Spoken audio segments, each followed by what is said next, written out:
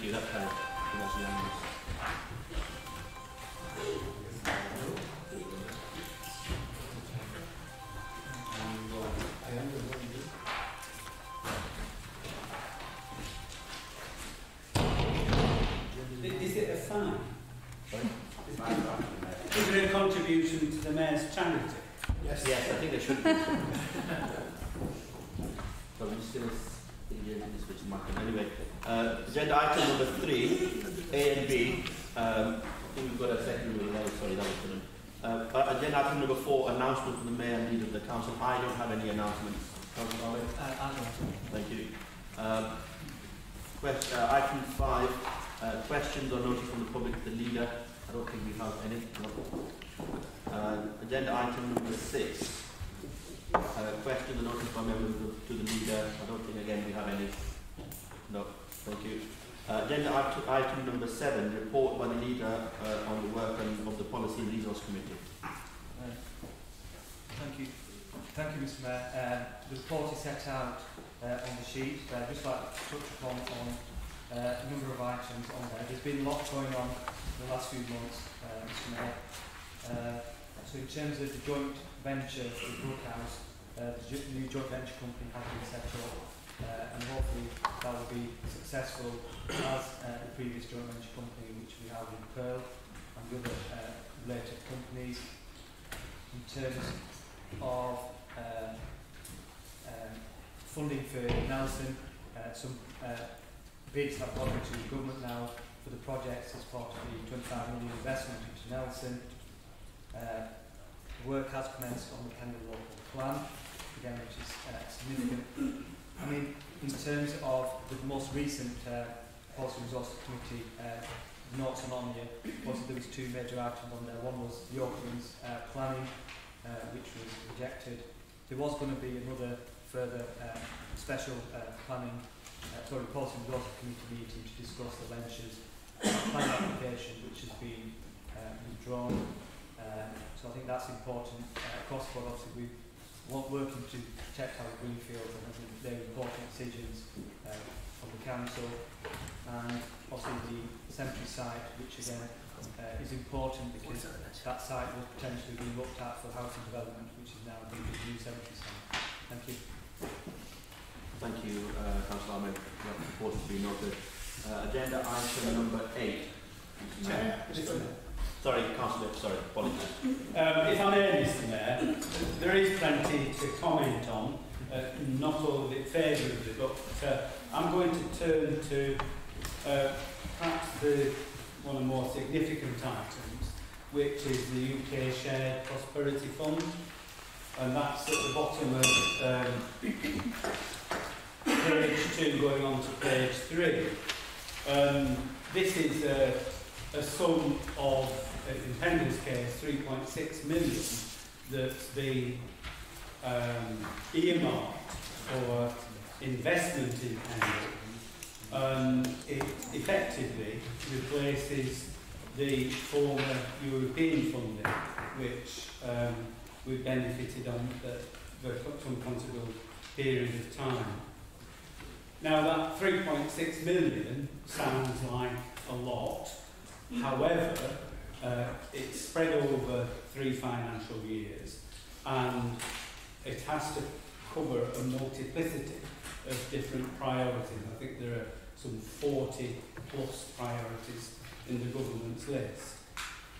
Now, one of the funding streams that it would aim to replace, um, we are told, has benefited from some 110 million pounds of European funding uh, for the whole of Lancashire.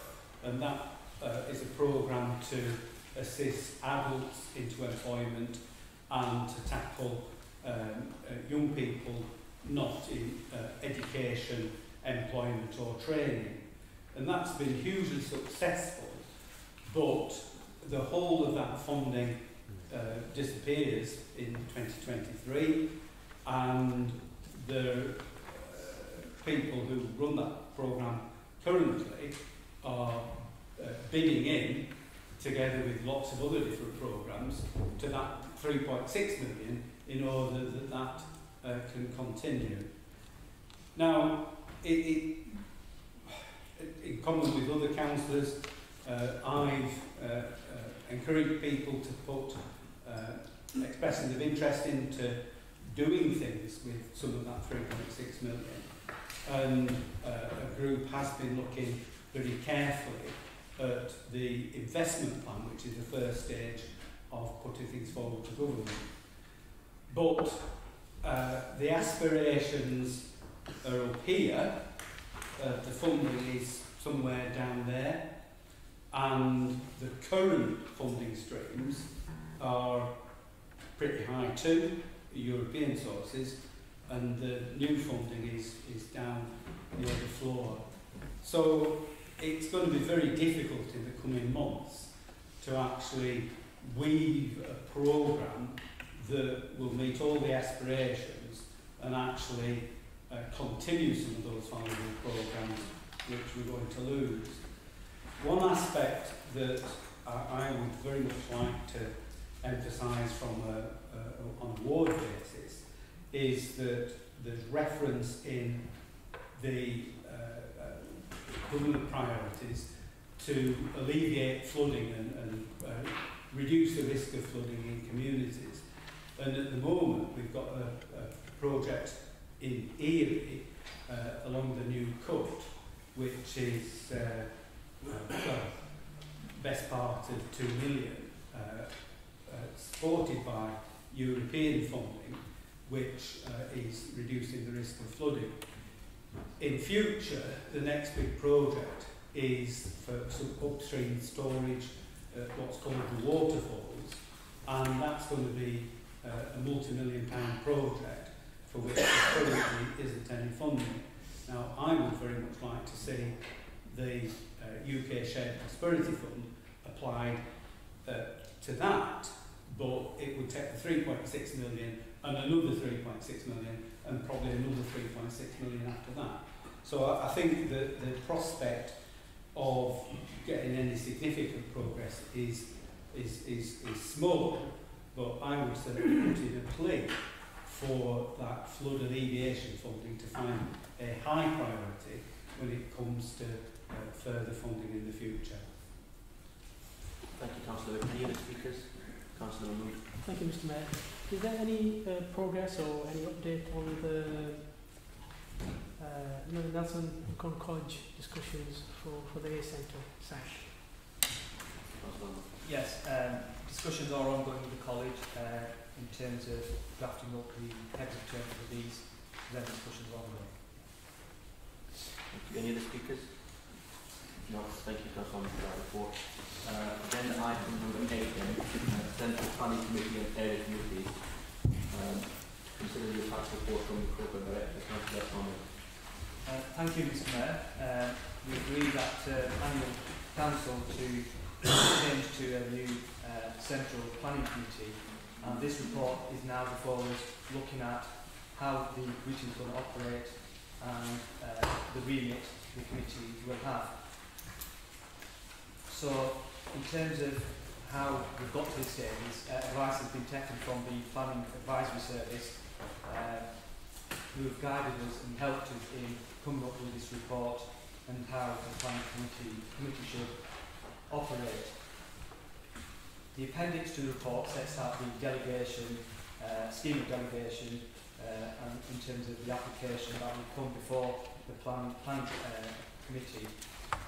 And uh, for us councillors, uh, for the planning committee to consider a planning application, we will have to make a request in writing with uh, a valid planning reason uh, for that to take place. And the challenge we have as a council is, as, as members will be aware, is in terms of the performance of the planning department as, as it is. Uh, we are facing some real challenges within that department, and if we're not careful, uh, we will have intervention in the near future which will reduce and limit uh, would say as, as members on especially the major planned applications and I think we're all agreed that's the last thing we would want to see. In terms of the makeup of the committee, uh, as the report states out in terms of the numbers would be six for one uh, and all members who sit on the committee whether as um, named members or subs in, in the future would have to uh, have taken the necessary training to participate in uh, the meetings. In terms of uh, the area committee uh, role, and area committees do play an important role in our local democratic system, and will continue to do so, uh, although the frequency of the meetings is uh, being proposed to be reduced. In terms of the budget uh, for area committees, we've had difficulties in the past where whether it's going to be capital uh, spend, whether it's revenue. So I think with the proposal that's put us, each councillor has £3,000 to spend and in terms of the ability to spend that money can be uh, revenue based, which makes it easier for that funding uh, to be spent. On page two, uh, in terms of the working arrangements of the committee, um, so the committee will be named as the planning committee. As I mentioned, the makeup will be six, four Conservative, four Labour, one Liberal Democrat. The training point I've already touched upon, and it mentions the frequency of the meetings and the time and the location of where the meetings will take place. I think it's also important in terms of the report mentions for members of the public to call in a particular planning application. Um, it's, it's suggested in the report that there will be, there has to be 10 um, objections from members of the public. I think the view um, we've taken is in certain areas that will be quite difficult to achieve in uh, urban areas, uh, sorry, in, in rural areas. So my, my suggestion is that we reduce that from 10 to 5 uh, and in terms of the tier 1 service sector uh, areas that stays at 10.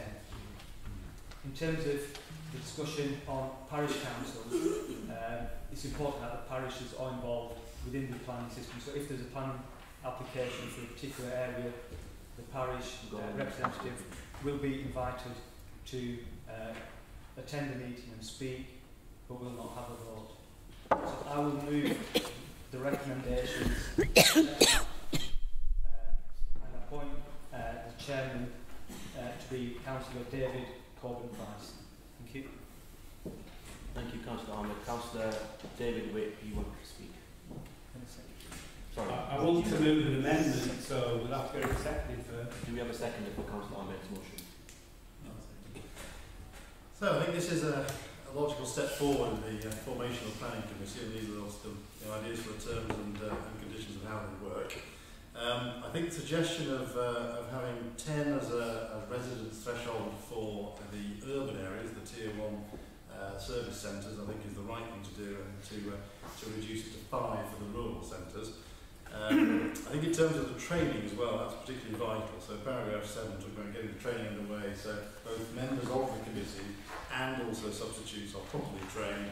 Um, I think as, as, as Councillor Arnold alluded to, there is a risk. Um, I was having a chat with, uh, with Neil Watson the other day before we the Colne area meeting and uh, he basically said that there is a risk that we will have a letter from the Government's Planning Department to say that our failure rate on appeals is too high and our level of delegation is too low. So those two things are the two things that are driving this kind of thing to make sure we get the right decisions made, consistently applied, etc., across all the different areas. So that's the that's the important thing. Um, a set of rules for everybody. I think we all sat through the um, the Oaklands application just recently, and again, the general public understanding what planning is all about, Um, so we can, we, we, we're trained enough to be able to answer the questions and deal with their questions and sort things out that way. Uh, and help them when it comes to understanding, you know, what's a valid objection, how to discuss it and how to present it when it comes to the, uh, the relevant meetings.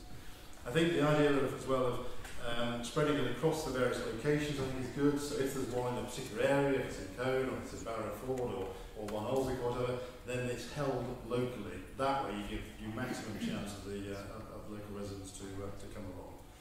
Um, so I think it's a, it's a, a set of recommendations with a slight tweak that we mentioned in terms of the, uh, the number of residents who uh, should object, um, and therefore I second the recommendations as they stand. Thank you, Councillor Price. Uh, Councillor Whipp. Uh, thank you, Mr Mayor. I've got um, well, two amendments, but I want to move the, uh, the principal one and then um, we can come to the, the second set of amendments in due course. So the first amendment is that um, we delete the uh, wording of the proposal that's on the table. And we um, replace that with that the planning committee consider major applications of 60 plus dwellings and applications referred from area committees which would currently go to policy and resources and that the terms of reference for area committees is unaltered. And I move that, Mr Chairman, Mr Mayor, um, because myself and my group feel very strongly that what the Conservatives are trying to do here is dismantle local democracy here in Pendle. Yes. The way in which they are riding roughshod over the local engagement of uh, residents, of local representatives, of parish and town councils with this wholesale sweeping away of uh, systems that have worked well for the best part of 30 years and given residents and representatives a real role in planning and dealing with planning proposals in their local areas. And uh, just tearing all that up and uh, meaning that uh, the centralisation will uh, entail a, a loss of ability and uh, the loss of uh, local people getting uh, uh, uh, their say on very important issues to them. I have to say it's typical of the way that the current Conservative administration uh, are operating but it should not go unchallenged. And the proposals to require 10 objectors um, to come forward in order to, to trigger something going to committee. But for rural areas, oh, it'll only be five objectors. Well, you know, in due course, we would propose that it remain at three objectors. We are not swamped by applications going to committee. The reason why there is a problem with uh, the processing, uh, processing of plan applications is because of inadequate staffing. And you only have to look the uh, uh, schedules that were presented to Policy and Resources uh, earlier, showing that the income from planning fees has shot up and the expenditure on planning staff has reduced to see that there is an imbalance between the, the, the demand, the, the number of applications that's coming through the door, and the number of people sat behind the door who were able to process them.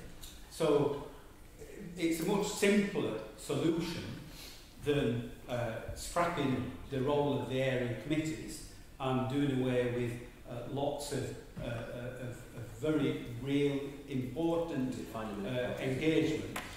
Uh, it's a case of have more planning staff. Now, Mr Mayor, there's far more in here, and it's like, well, we've got an item on the, the council agenda, we'll, we'll throw in a cut to the area committee's budget, and we'll come back to that uh, in further amendment. But uh, for the time being, what we're proposing is, yes, we have a centralised planning committee, and that is like the old development management committee, uh, uh, and, and it takes over the planning issues that are currently referred to resources. Um, it does not negate what was decided at the previous council meeting. Uh, it fits in with that and it allows us to go forward sensibly and retain the crucial engagement of local people with the planning process, not throw everything out, baby with the bathwater, as is proposed by the Conservatives. I move. Thank you, Councillor. Before I bring Councillor Mahmood in, um, uh, Philip, I think, wants to just uh, mention the procedure. Um, I have to advise the, the council that this amendment is out of order. Uh, the decision taken at the annual council meeting was clear that area committees would no longer be responsible for planning matters and that a planning committee be established to deal with those matters. Uh, this amendment would rescind that and you cannot rescind the decision of the council within six months.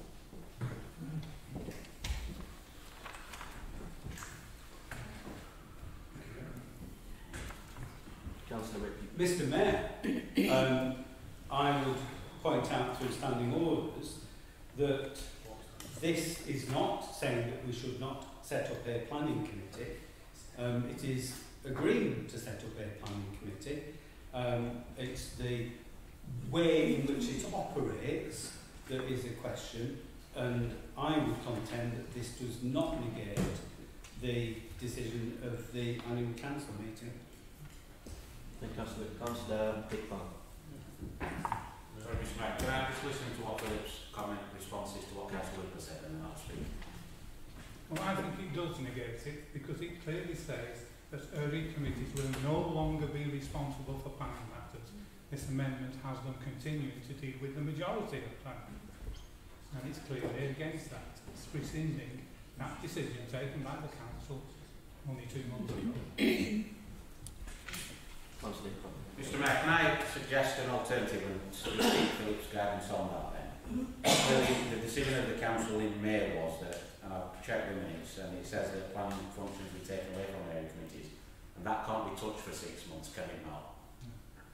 So, Mr Mayor, what I'm going to suggest is an amendment, I just want to, before I formally table, just seek Philip's guidance through you, if that's okay, is that does the council then have power to set up a subcommittee and give that subcommittee the powers to review the, the, the planning committee's uh, terms of reference and then make a decision on behalf of the council?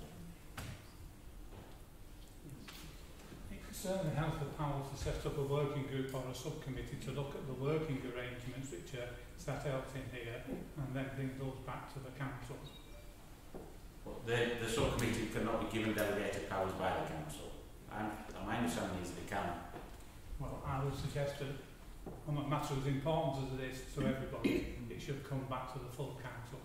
Right, well, through you, Mr Mayor, that's your suggestion for this. There's nothing that's against the rules for this, that is No, that, that, that is not rescinding the previous No. decision, so it, Okay. it would be legitimate, yeah. Okay.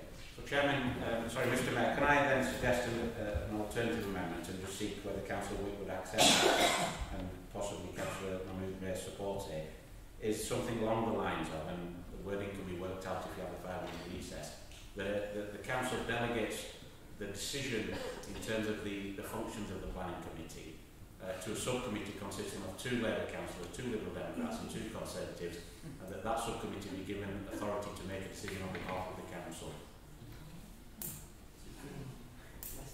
My, my understanding is that that's not against the rules. Philip may not like it, or the leader of the council may not like it, but I'm just suggesting that. And if, if that's not illegal, then I'm tabling it. yeah if, if you're setting up a committee or subcommittee, it's got to be politically balanced. Uh, council can suspend standing orders to... No, it, it can't suspend the political balance Sure rules, it they, they are a legal provision.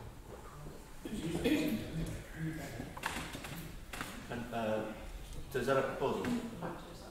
Well, if Philip is saying, can I suggest that there's a 10 minute recess through Mr Beck for group leaders to have a discussion amongst themselves or uh, with at least two groups, and then something is uh, run by the representative of the council being convened. So otherwise, we'll be still. I think, um, as uh, Philip has said, uh, this is obviously quite an important matter, and I think it might assist everybody if we do have a short recess uh, have a discussion. But before I do that, I think Councillor Ahmed wants to speak, so I'll, be interested to what Councillor Ahmed thinks. Yeah, yeah, totally agree with you that it is an important uh, decision, which is why it should be the full council making the decision and not a subcommittee. That is the norm, that's how we operate. On the one hand, we're talking about the democratic process the claims that how undemocratic a planning committee is and powers being taken away from area committees. And let's, we're hearing yet a subcommittee going to make the decision on behalf of the council. Make your own minds up. Councillor So I think unless there's anyone, anyone that wants to speak, I think we do have a, a, a 10 minute short recess uh, to convene and see if there's anything that can be known. Uh, yeah, so if you have a 10 In, minutes, in, sorry, in Councillor. Mayor's parlour, Mr Mayor? I'm happy to host uh, the leaders if you want to, Councillor Whipp. Take a vote. Yeah, so. Yeah, that's fine. So 10 minutes, thank you. The outstanding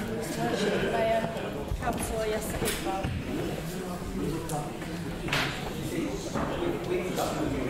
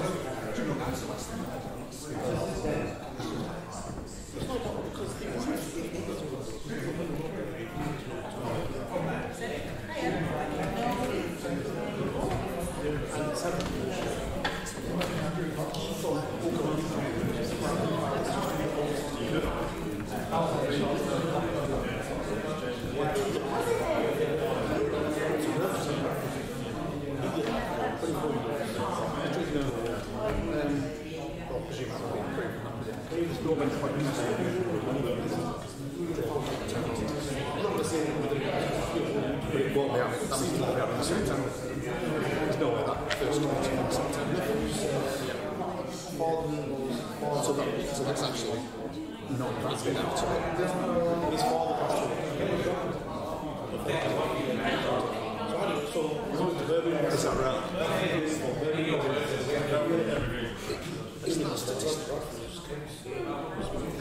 Mayor, Councillor Yasser Iqbal. Miss Paula. That's what he said. Okay. He said you would me, I don't know.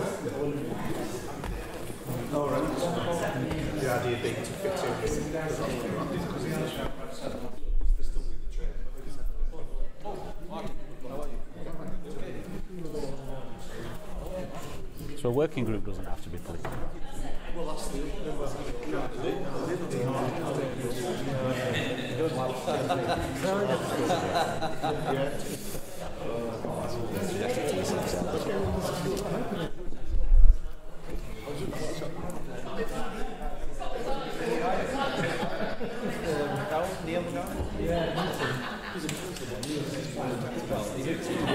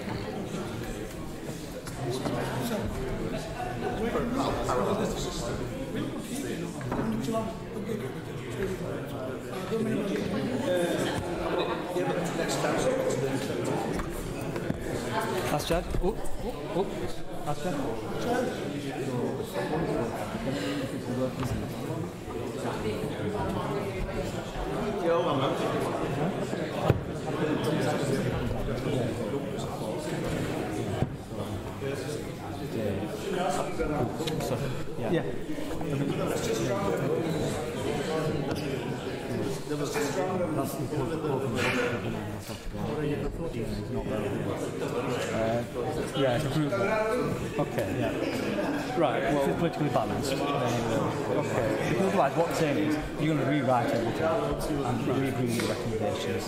Totally different. All right. Well, uh, I think you're, Asjad's going to move the working group on the basis that we discussed. And my group is happy to support that. So currently, you know, you've got the, Yeah. the numbers in the chair. Mm. Yeah, that's great. Yeah, yeah, okay, fine. Yeah, right, okay.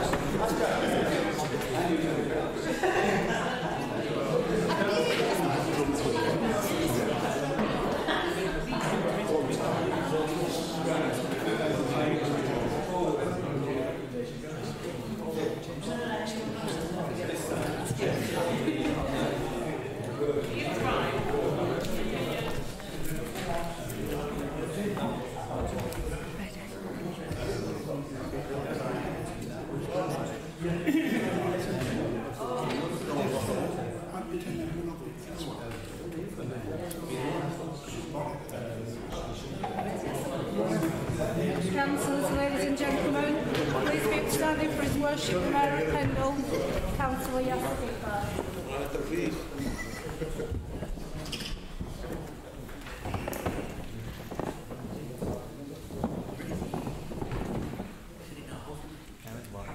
Thank you, councillors.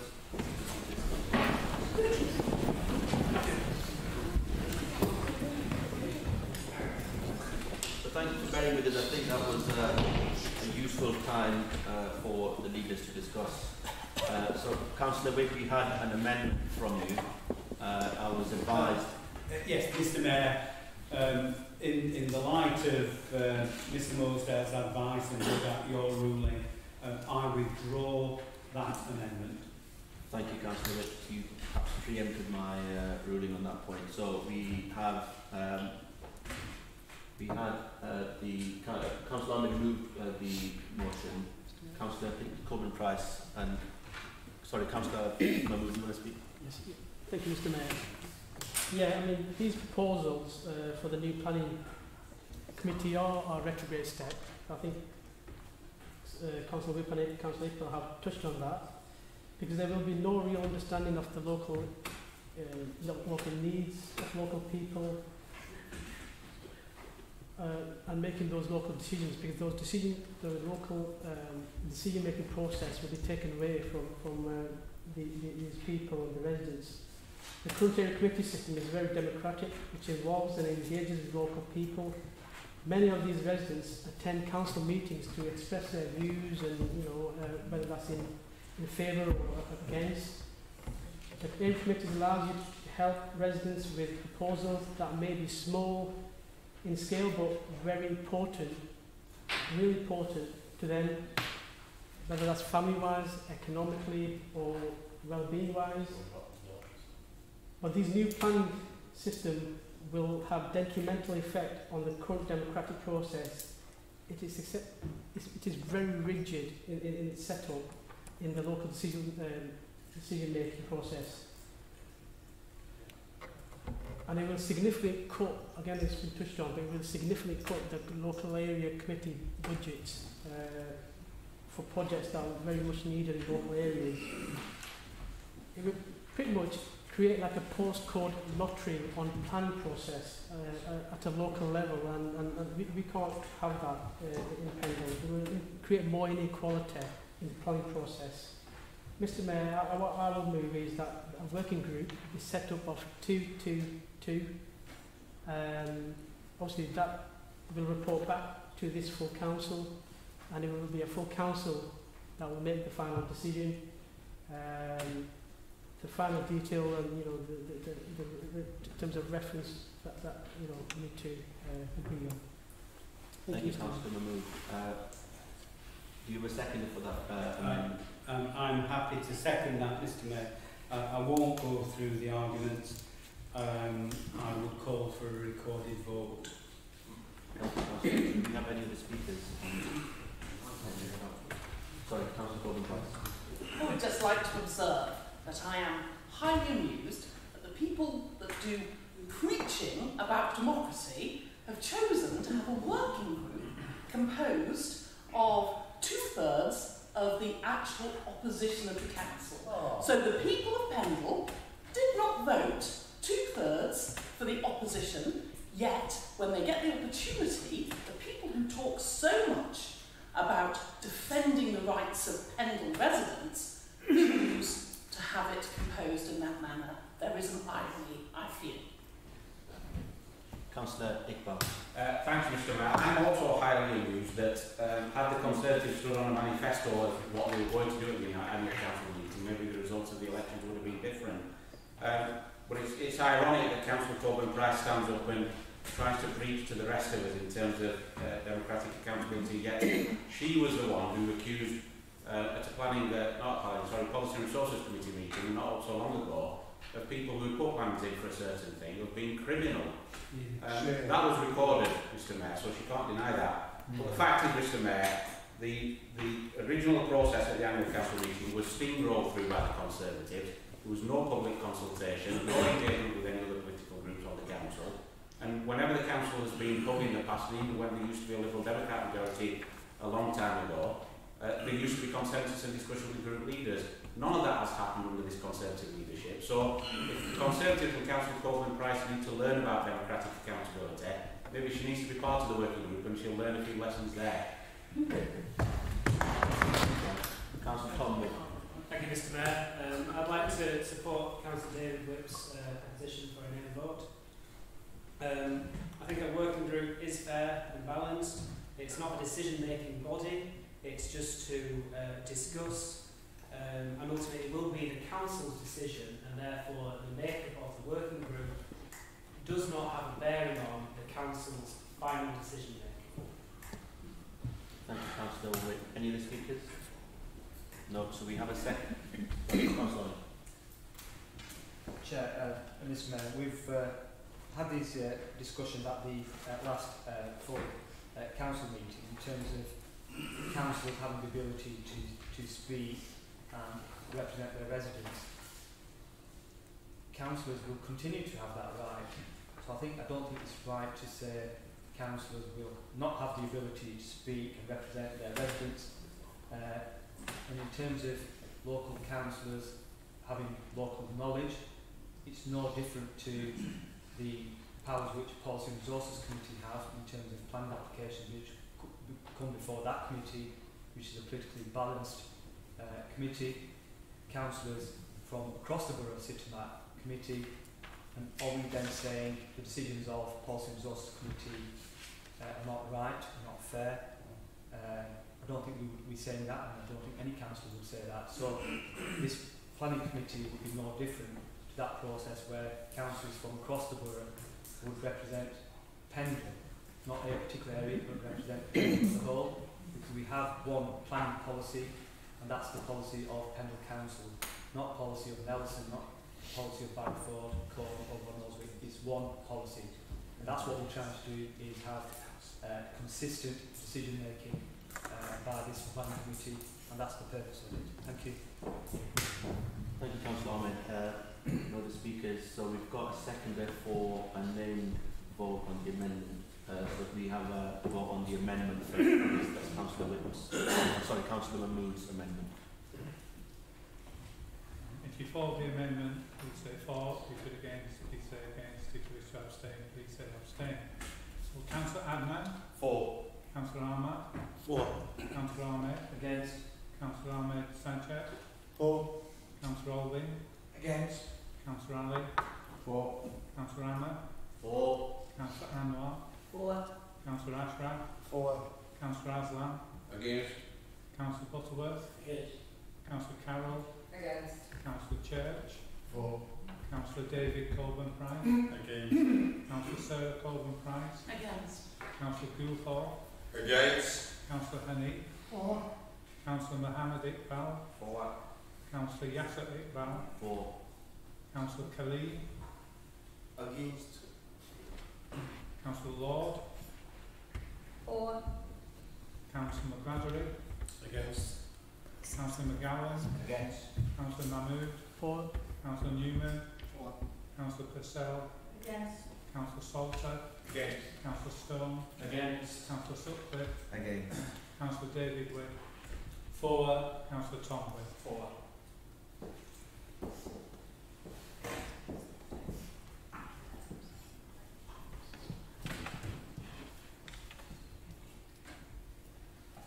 Sixteen for and fifteen against. That's 16 for and 16 against, so that amendment, sorry, 15. 16 for and 15 against. Uh, so that amendment is carried.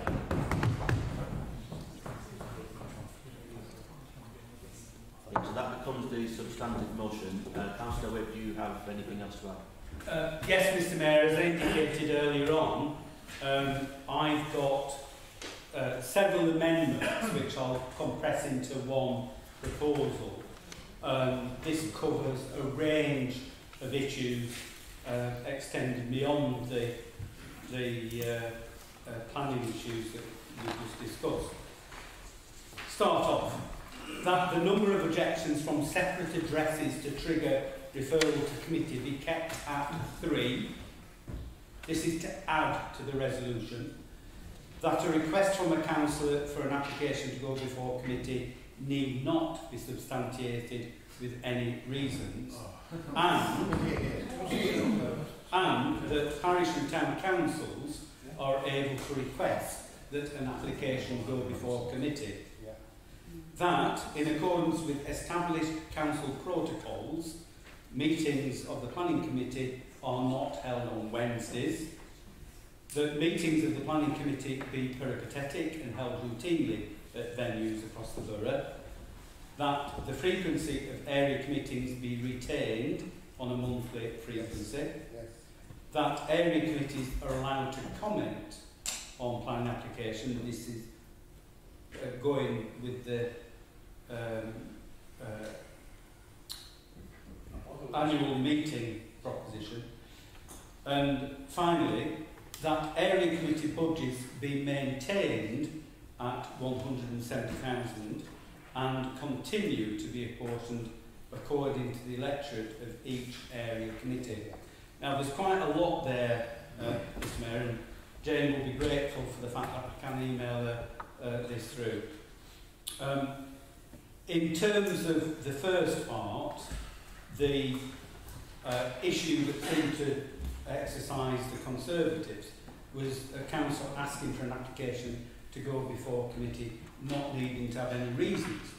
And the explanation of that is that at the moment, any request for a committee consideration is before any of the planning process has got underway. It's right at the beginning. Um, we won't have the planning uh, issues before us. It'll be a case of, well, this is an important issue in that area and it's worthy of committee considering it. So therefore, that's why you go to committee. It's not a planning argument. It's not a, well, we don't agree with that decision, so it should go to. It's a, this is an important issue. It needs to be considered by committee rather through, than through the delegation scheme.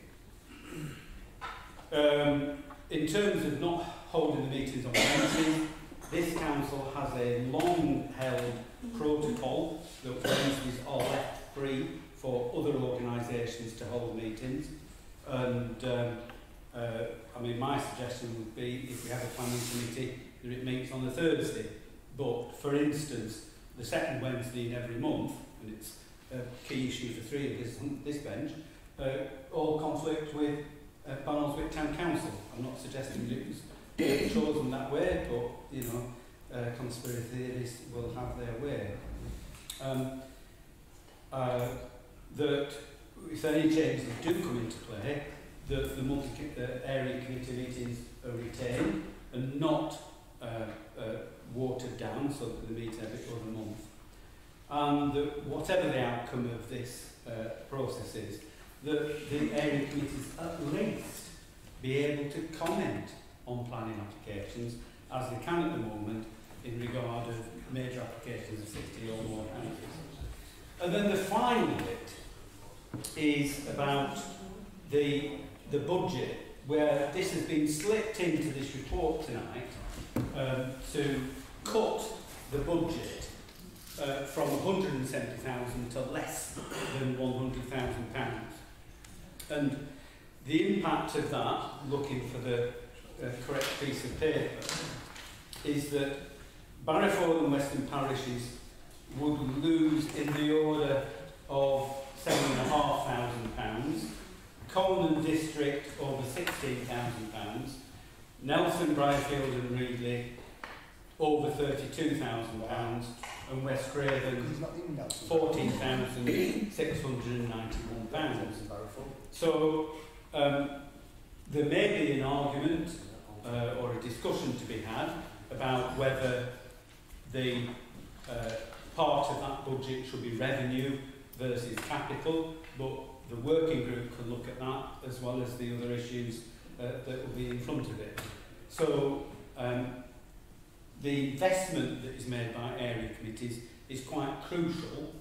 This is a cut to some of the most important local issues and proposals that come forward in local areas uh, by the Conservatives by the back door. This item isn't about cutting area committee budgets, but it's been usurped by the Conservative administration to try and do it on the quiet so that nobody notices and it has that awful impact of cutting £71,000 uh, out of the local investment that should be being made. Um, Mr Mayor, um, I uh, would move this. Uh, we can uh, think about the capital revenue split um, in due course. Uh, I think there is merit in having some revenue at the area committees, but uh, uh, you know, let's uh, consider that in due course if that's sensible. Um, I move. Do you have a seconder for that? Thank Mr Mayor. Councillor? Any other speakers? Councillor Whitby? Um, thank you, Mr Mayor. Um, in the initial uh, motion, um, as on the pink sheet, the leader of the council referred to the £3,000 per councillor and that this would be £3,000 for each councillor to spend. Mr Mayor, I am aghast at that comment and I think that the leader should rescind this. It is not £3,000 for each councillor to spend. It is um, the money of the people of Pendle raised through council tax, and it should be the decision of area committees to spend that money, not individual councillors. Thank you, Councillor Whitby. Um, any, sorry, Councillor Cockburn-Price. Just a, a quick one, coming back on uh, budget responsibility. Um, we all know this is one of those discretionary areas where budgets are given out to area committees to spend and uh, the allocation is proposed as by councillor. As Councillor Whipp Jr suggests, it's one of those ones whereby you can have whatever rules the area committee you like. You can have individual council allotments, or you can have a central pot. It's entirely up to the area committee to use and uh, distribute the money accordingly. Um, I would draw attention to the fact that maintaining the 170,000, whether it's capital or revenue, we support a degree of flexibility. And the reason for that is in paragraph 14, because the spending of this money is just not taking place. So whatever grandiose ideas have of distributing money left, right and centre, uh, £544,000 of slippage has taken place. So, councillors, you're just not spending it anywhere. There might be some good ideas and there might be some good projects, but please use them.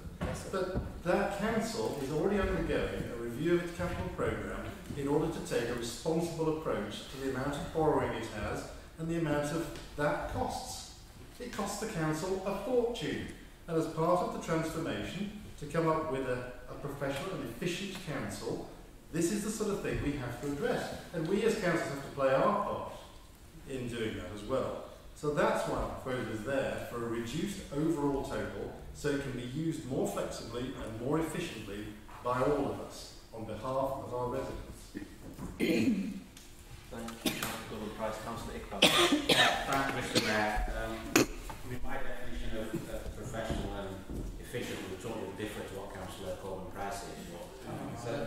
Fact is that, and I'll speak in terms of Nelson Brownfield Area Committee as a member of that committee, and I'll give you an example, Mr Mayor, that for example, the committee allocates funding for shopfront grants in the town centre.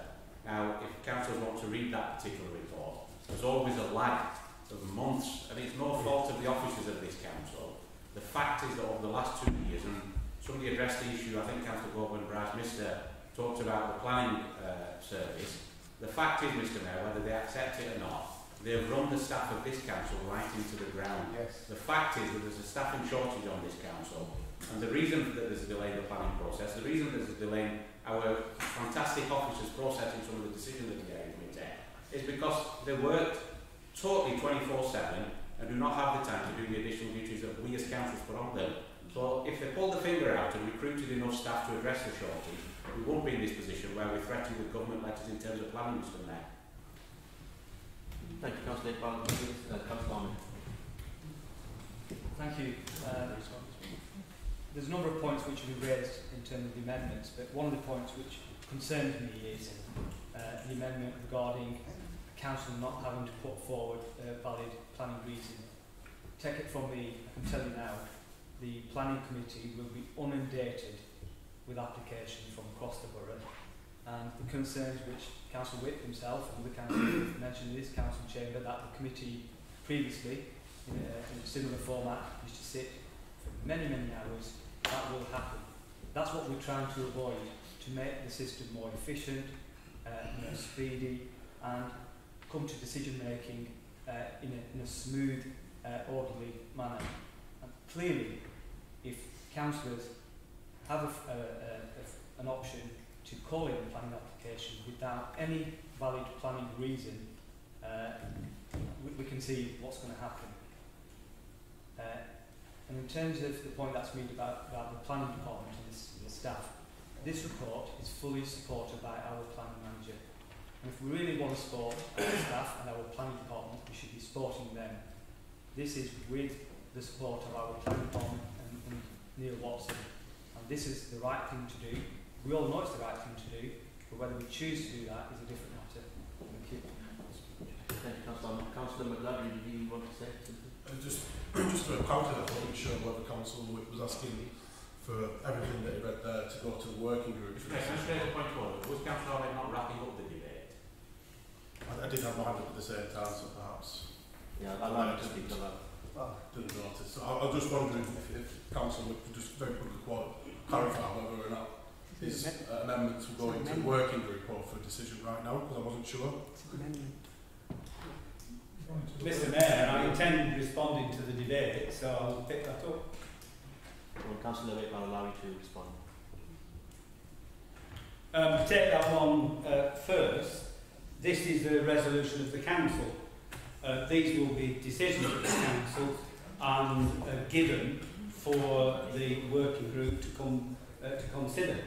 Um, once these decisions are passed tonight, if they are passed, then uh, it, they cannot be challenged for six months.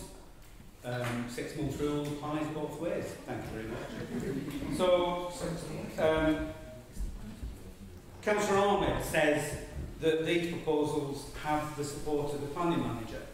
But where has been the support for the planning manager for the last 18 months when the planning department has been overrun by application after application after application and the staff have not been appointed to properly deal with those applications.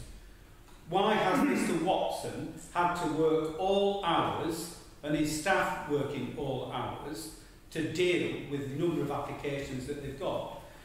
Is the administration aware that at one stage each uh, planning officer had 70 planning applications on their books, each and every one of them, 70.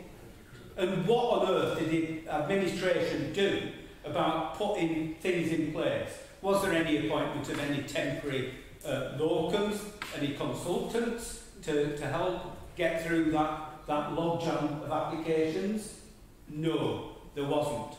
Was there any support uh, to actually employ people or retain people? No, there wasn't. The problem lies not with the political processes. Well, yeah, there is a big problem with the political process. We've got useless administration. But the problem lies with the political administration not giving the resources and allocating the resources to a part of the council that uh, was and is under severe pressure. That's the bottom, top and the bottom of it. You should have got your hand in your pocket.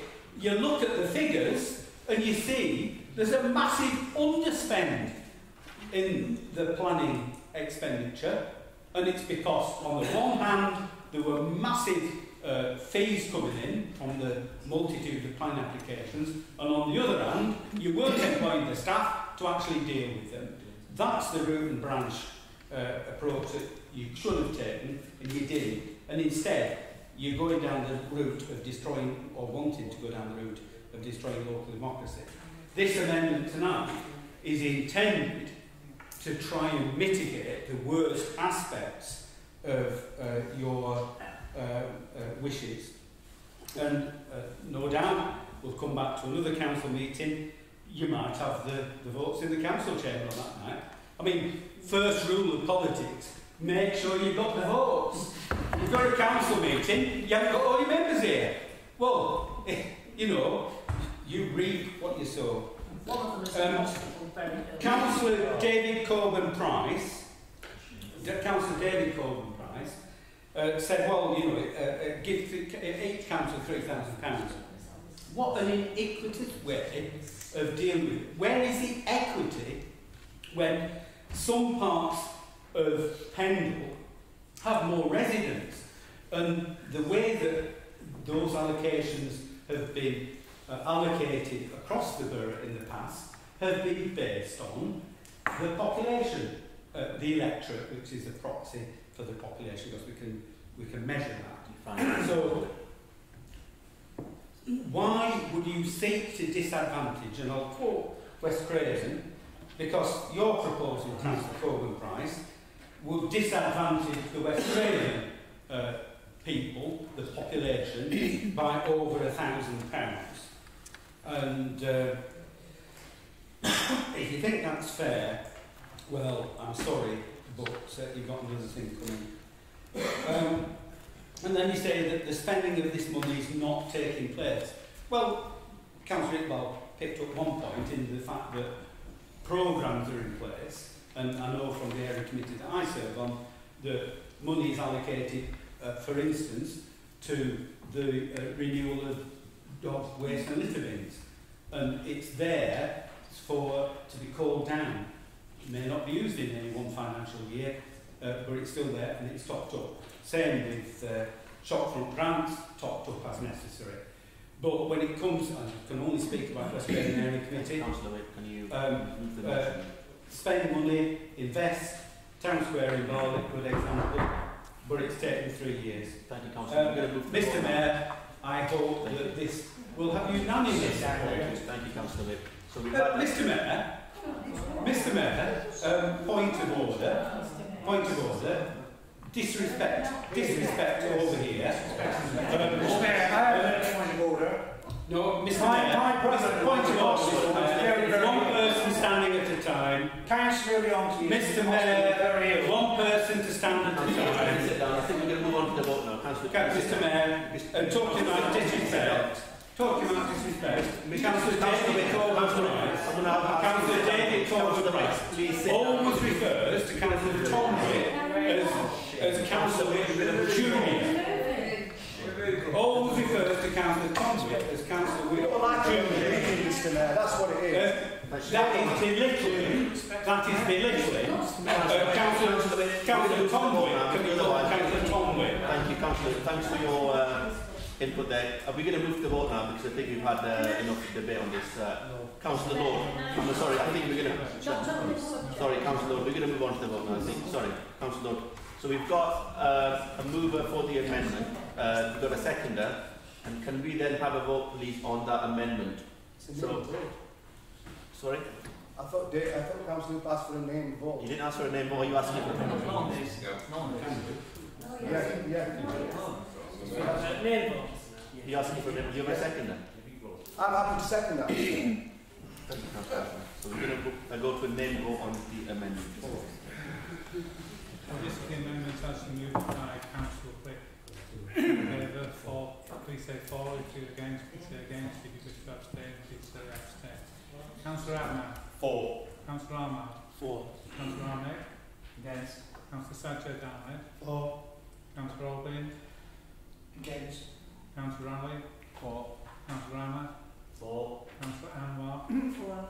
Councillor Ashraf. For. Councillor Aslam. Against. Councillor Butterworth. Councillor Carroll. Against. Councillor Church. For. Councillor David Cockburn-Price. Councillor Sarah Cockburn-Price. Councillor Goulthorpe. Against. Councillor Hanif. For. Councillor Mohammed Iqbal. For. Councillor Yasser Iqbal. Four. Councillor Khalid. Against. Councillor Law. Councillor McGladdery. Again. Councillor McGowan. Against. Councillor Mahmood. For. Councillor Newman. For. Councillor Purcell. Against. Councillor Salter. Against.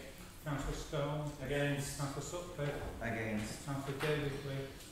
For. Councillor Tom Whipp. For. That's 16 for and uh, 15 against, so that amendment is carried. That now becomes part of the substantive motion. So we're going to have a... Councillor Butterworth. Butterworth. I uh, just want to ask a question, Mr Mayor. Before you is a set of three lights, and every councillor in this room knows that when the second light is on, you have one minute. Now, when the red light comes on, we stop talking. Are we going to use the lights or abuse the lights? Thank you, Councillor Butterworth. We did note your comments. I think... No, no, no, So coming back to the, the motion, we have, uh, that becomes part of the substantive motion. Um, so that's, so we have a, a, all, a show of hands of all those in favour of the substantive motion. What's up there?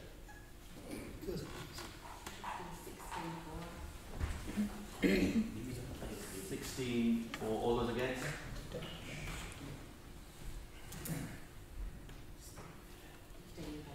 Fifteen against, so that uh, is carried.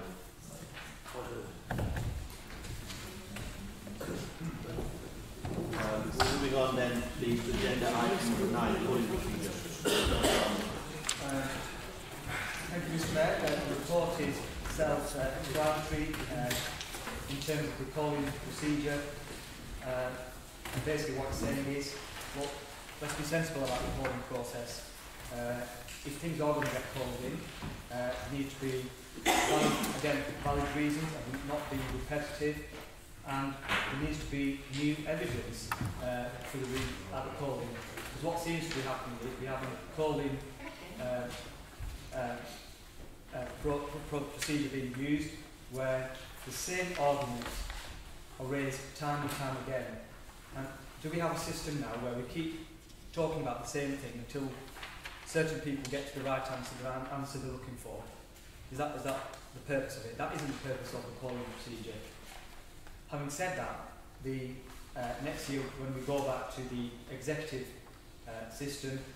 Uh, the procedure will be different in terms of the annual scrutiny committee. So until that time, this polling procedure will stay, but I think what the purpose of the policy is it sensible. Have you a second for that, Councillor, uh, for that motion? I'll second it. Thank you, Councillor Corbyn. Councillor Whipp. Um, Mr Mayor, our group will simply be voting against this.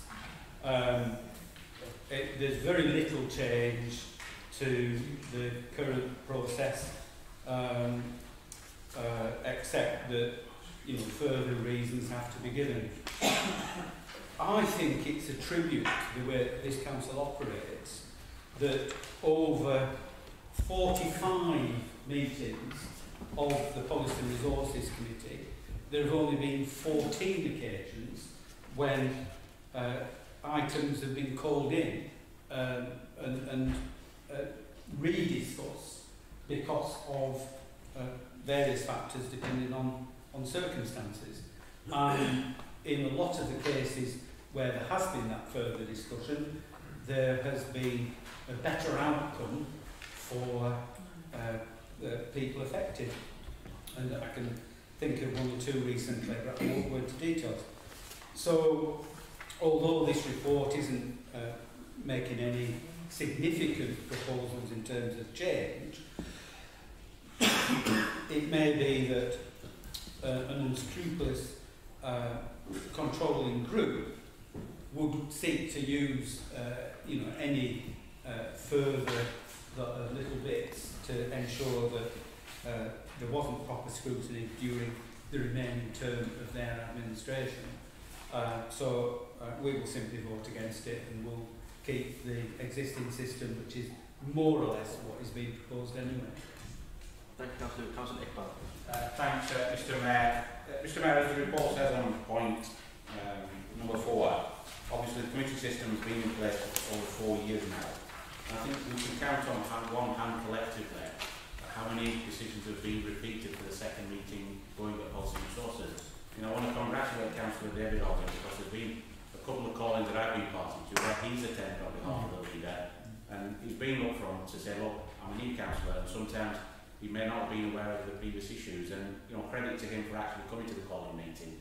The, the leader is expected, the group leaders are expected to attend that calling meeting and unfortunately uh, Councillor Ahmed, for whatever reason, has been missing on a couple of occasions and has had to ask colleagues to step in. But I'm surprised why the report has actually made it because if in effect, as Councillor Ahmed is saying, nothing's changed, then why waste Mr Mousdale's valuable time in preparing the report if nothing's going to change? I mean, the recommendation is uh, that the calling is appropriate and the procedure is consistent and transparent.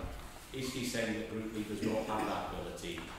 Because certainly the meetings that I previously chaired in terms of calling or the meetings that I've attended in Council Alvin, as I keep referring to, attended a couple, uh, there's been uh, a frank and open and honest debate between the group leaders or their substitute.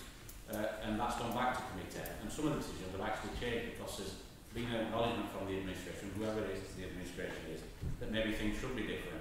And I'll cite one example, that the lorry park at Barnoldswick, there was a, a strong debate at Policy Resources Committee with some colleagues uh, ridiculing other colleagues, saying that they were basically uh, wasting people's time. But when it went to the calling, the county council had a change of heart, and that calling procedure actually allowed something positive to be done. So there are positives to the calling process, and uh, I, I won't be supporting the recommendation because in effect there's nothing changing, Mr Mayor. I think it's an insult to group leaders uh, if you're actually saying that they need to be more transparent. Thank you, councillor Iqbal. Any other speakers? No, so we have a, a, a, a motion in second. Can we sh- show of hands of all those in favour of the motion?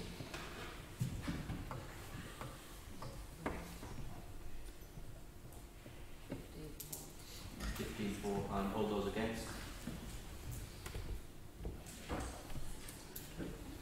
That's sixteen against, so that uh, fails. Um, moving on then to agenda item number ten, uh, rules of procedure. Uh, Councillor. Uh, thank you, Mr Mayor. Again, uh, this report is, we've seen a good example this evening why it needs to be uh, up of uh, the rules of procedure. Perfect example. We have it every full council meeting where we were talking about respect for uh, uh, other people and there's a genuine reason why the council royalty is here and I find it really disrespectful the point made by Councillor Whipp, um, deeply disappointed that comment um, about Carl Leonti. Um, in terms of showing respect for members, where's the respect for the mayor? We're talking about colleagues. The mayor was asking Council Whipp to stop speaking, to sit down. Did Council Whipp stop for one second? No. Continued, just does what he likes as, as, as per normal.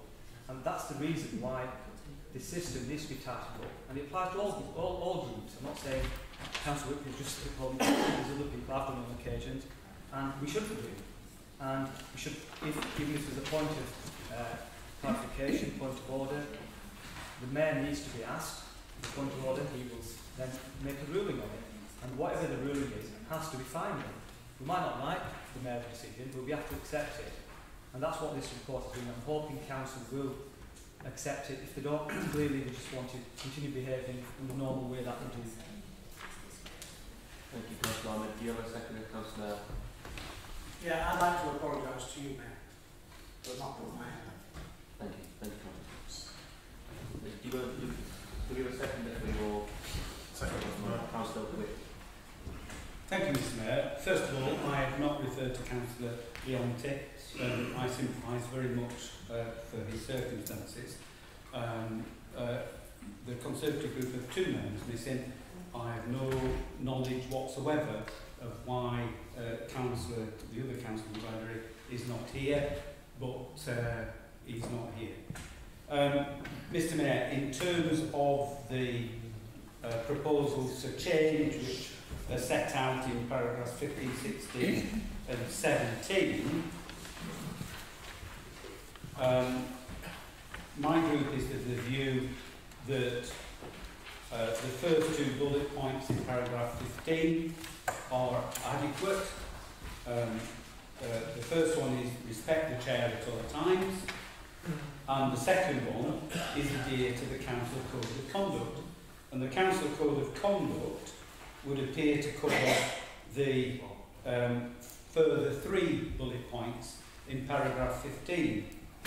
Um, I'm, I'm, I'm at a bit of a loss. I mean, I, I think some of the English is, is, is clumsy here, but I'm at a loss as to understand that have a responsibility to secure to secure good conduct on the part of all councillors and of their political group. Now, I'm not sure what influence Councillor Hanif has upon Councillor Sutcliffe in terms of a responsibility to secure good conduct, or what influence Councillor McGladdery, Kieran McGladdery, has on, say, Councillor Zafar Ali uh, to ensure that he uh, uh, uh, uh, secures good conduct. So I, I, I'm just, I think it's a nonsense to suggest that individual councillors have a responsibility for how the other 32 re- respond and, and, and um, act. Uh, I just don't think it's a sensible way to, to set things out. Um, and as I say, this is covered insofar as it can be covered within the Council Code of Conduct, so you're sort of repeating some of the bits in the Council Code of Conduct within um, uh, uh, uh, the further bullet points. In paragraph 16, it says, with the permission of the Mayor, a member may make a point of personal explanation. Now, in order to make a point of personal explanation, you would have to uh, explain what that personal explanation was. So, how on earth the mayor could rule as to whether personal explanation, point of personal explanation, could be given or not, without having heard what the point of personal explanation is, I'm not right sure. Um, and, and I think that's a bit of a nonsense.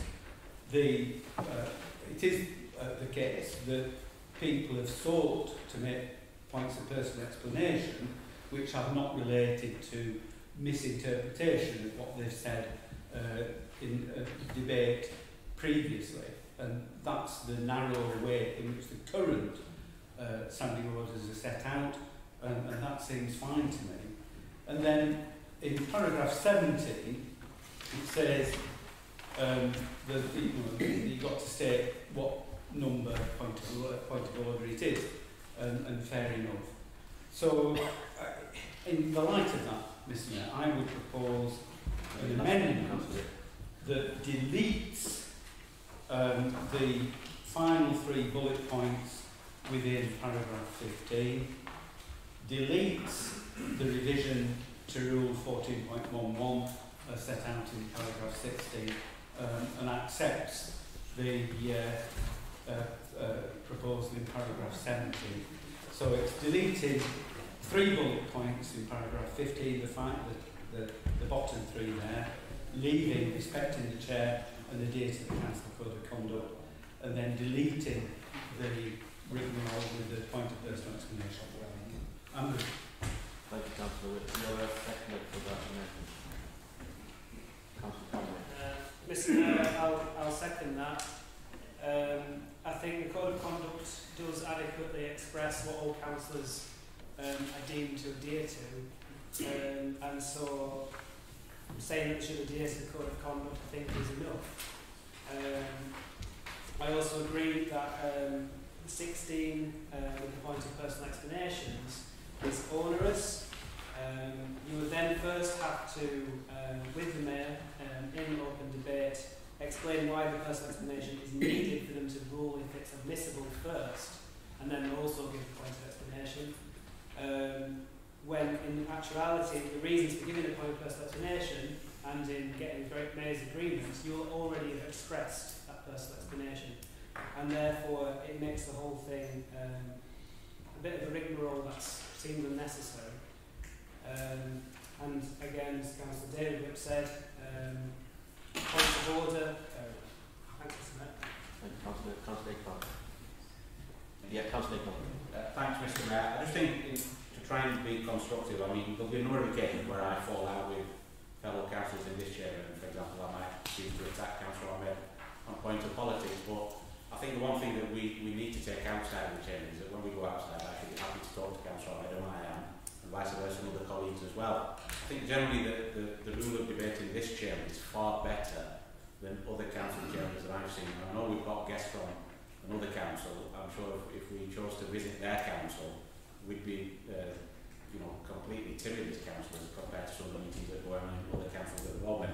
But just in terms of trying to reach a consensus, I'm just wondering whether between councillors Ahmed and councillor Whitwer they, they can agree, because there's no, I don't think there's any point in an amendment being tabled if there's consensus that it can agree. But I think the councillors' code of conduct is something that all councillors should read, and uh, I can't genuinely remember the last time I read it, so I'll be the first one to hold my hand up, and maybe that's something for officers to pick up or group leaders to pick up and make sure that the councillors read the code of conduct before they come to certainly the full council meeting, uh, where it's very sometimes confrontational. But in terms of adhering to that, I think if every council read the code of conduct, then some, maybe we wouldn't have the political argument that sometimes we do.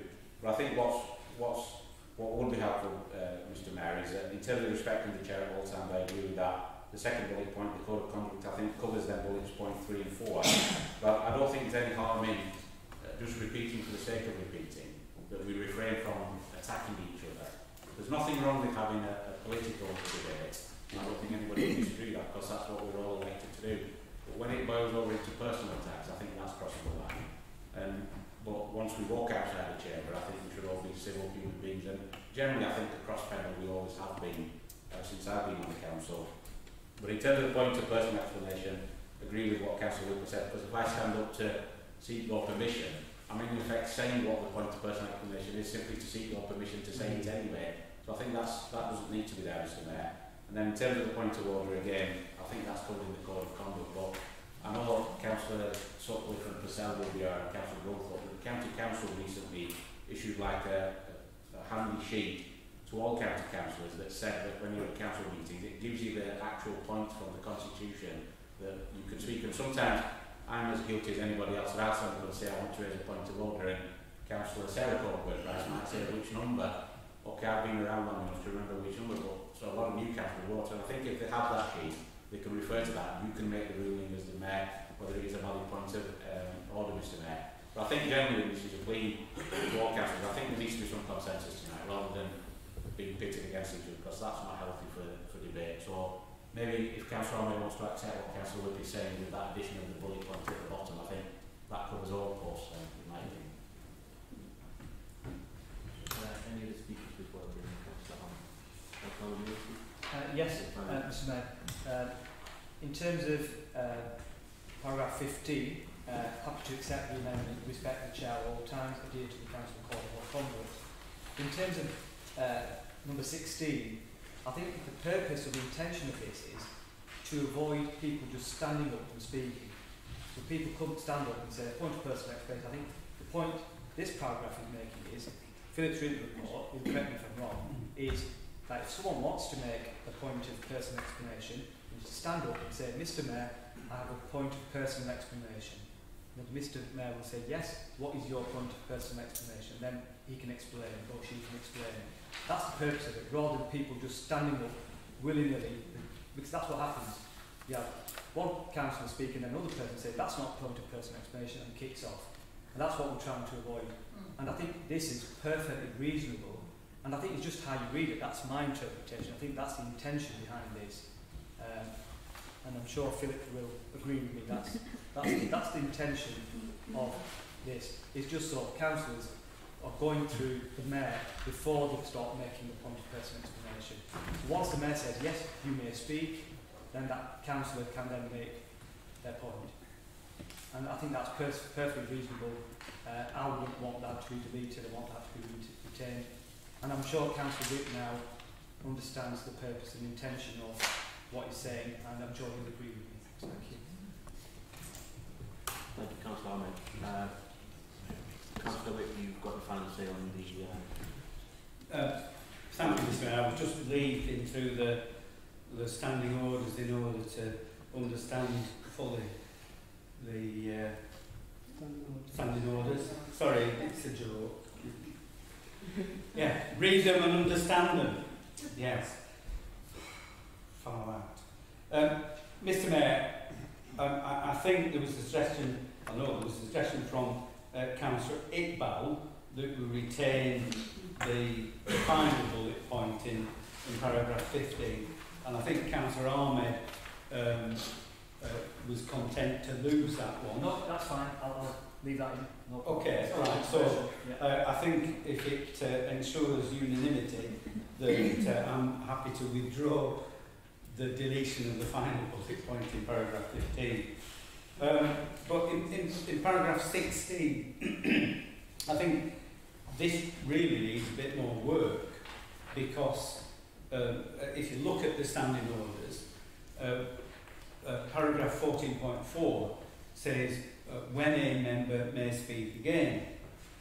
Um, uh, and the Roman numeral uh, 6 there says a member who has spoken on a motion may not speak again um, except, and uh, there's a few uh, exceptions, by way of personal explanation.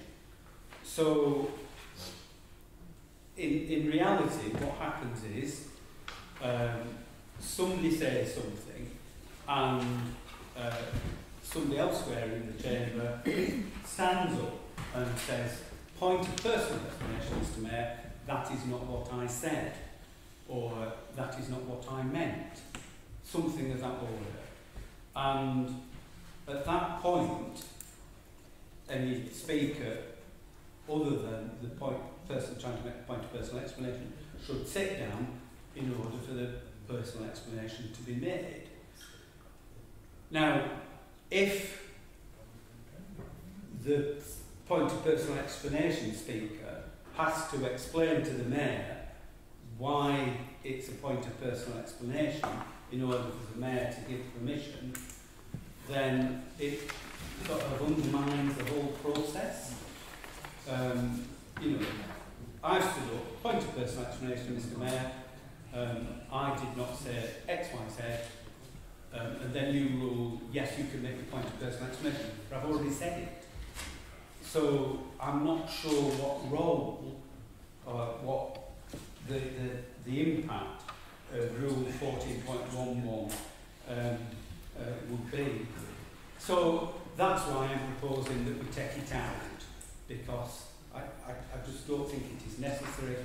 If the current standing orders are followed, they are adequate to cover the point that Councillor Ahmed made. Um, if it isn't a point of personal explanation, the Mayor says, thank you, it's not a point of personal explanation, sit down. Thank you, Councillor Wick. So we've got a mover and a seconder for the amendment. We take a vote on the amendment first.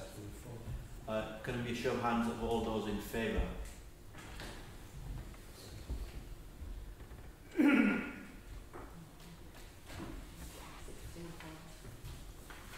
Sixty-four, and show of hands of all those against. Fifteen against, so that's carried. Um, moving on then to the agenda. Sorry, that becomes now the substantive motion. Uh, can we have a show of hands of all those in favour of the substantive motion? Sixteen for and uh, show of hands for all those against. It's Fifteen against, so that's uh, carried. Moving on then to agenda item number 11, representative on outside bodies. Uh, Councillor Sutcliffe. Oh, thank you, Mr Mayor. Um, I was appointed by this council to the Welsh Crime um, and Police Panel, Police and Crime Panel, and Councillor David Whipp was offered as an alternative should the political balance not be right across the, the county. Um, as it happened at the first meeting, they found that the political balance wasn't correct across the county, but it was okay for me to be there representing Penderyn and wanted an additional Liberal member. Now, we didn't offer an additional member, but simply an alternative. And I think that we need to clarify that the alternative, uh, sorry, the additional member to that panel comes from Lancashire as a whole rather than simply Penderyn. So I think there needs to be some clarification from Blackburn Council, who are the host of, of this. So. Does that make I think Blackburn have been pragmatic and they take the view, well, that's painful, that's that there's a, number of Liberal Democrats on this council. Right. I just was, I was put in a funny position at that point where I was almost being asked to act on behalf of this council and I have to say I wasn't prepared to make that decision to take on an additional member when no other council did. So I simply need to make my case that I wasn't prepared to do that. If that's the way that it is, that's the way it is. Thank you, Councillor Tom Whipp. Um, thank you, Mr Mayor. Um, we must be wizards because we did predict this. Um, but I nominate Councillor David Whipp um, to fill this um, uh, representative role um, to bring the group to panel to balance. Thank you, Mr Mayor. Thank you, Councillor Tom Whipp. Do we have a seconder for that? I'll second that. Councillor Lord. Um, no other speakers. Um, show of hands of all those. There's no need for So we'll have a, we'll have a vote on that. All show of hands for those in favour.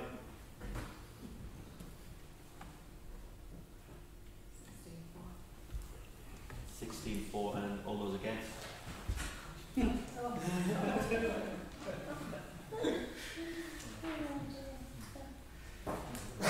That's uh, Um, moving on then to agenda item number 12, notice of motion. Uh, before I uh, bring on uh, Councillor, I think it's Councillor David to move that motion, as all of you know, this is uh, Philip's last meeting and perhaps it's my fault for not having a, a separate item on the agenda uh, to uh, record our thanks. But I'm sure that everyone in this council will uh, agree with me and share my view that uh, Councillor, uh, sorry, Philip. Future councillor.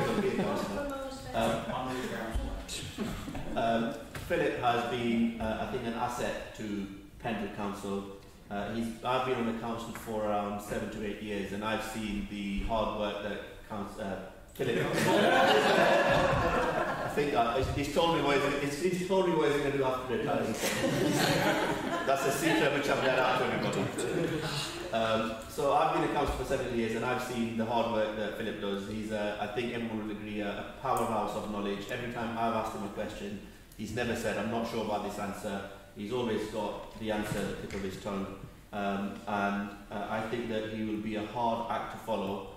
Uh, he, told, he told me just before the meeting that he joined this council in 1986. Uh, that was the year I was born. In fact, he started, he started one month before uh, I was born. So that's a, a, literally a lifetime that he's been in the council. So uh, can I, uh, on behalf of the council and behalf of everyone here, and all those that have gone before uh, our before us, that uh, Philip, thank you for the service that you've given to Pendle, to Pendle Council, and we wish you uh, a, a very happy and long retirement, whatever that may be. And obviously, uh, let the cat out of the bag now what your retirement plans are, but um, we wish you a very happy retirement. Here, here. Councillor.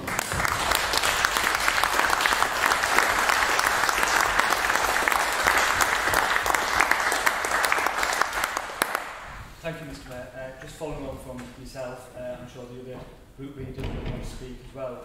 Uh, just want to put on record on behalf of the Council um, how grateful we are for all the services and all the dedication over many, many years uh, that you've served Pendle Council and worked extremely hard for knowledge. I think that's the outstanding thing for me, is, is, as Mr Mayor said, is whenever I've needed information or needed some clarification or guidance, is go to Philip, you'll get the answer. Yeah, always get the answer. And so really grateful. We're going to be really missed uh, is Philip once we've had uh, various members of staff, uh, senior members of staff who've left, and when they leave, they take the knowledge with them.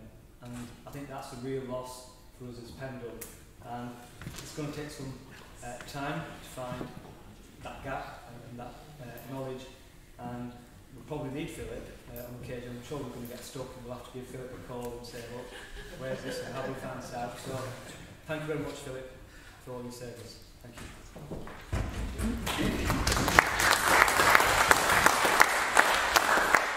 Councillor Sorry, Councillor before. Councillor Iqbal, sorry. Councillor. Councillor Mahmood.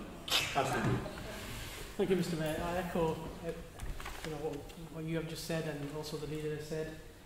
Um, Philip has given an outstanding service uh, over the years, and he's given his strategic leadership to this council, and that's you know being a sound in, in, in many ways. I would call him the walking encyclopedia, um, full of knowledge. I think because I touched on that, he's full of knowledge. He has the answer for everything, especially also local government, but especially the, the legal aspect uh, of local government. Probably one of the few uh, legal gurus or walking encyclopedia that we have in, in whole country. So, yeah, thank you very much for everything over the years and all the best and happy retirement.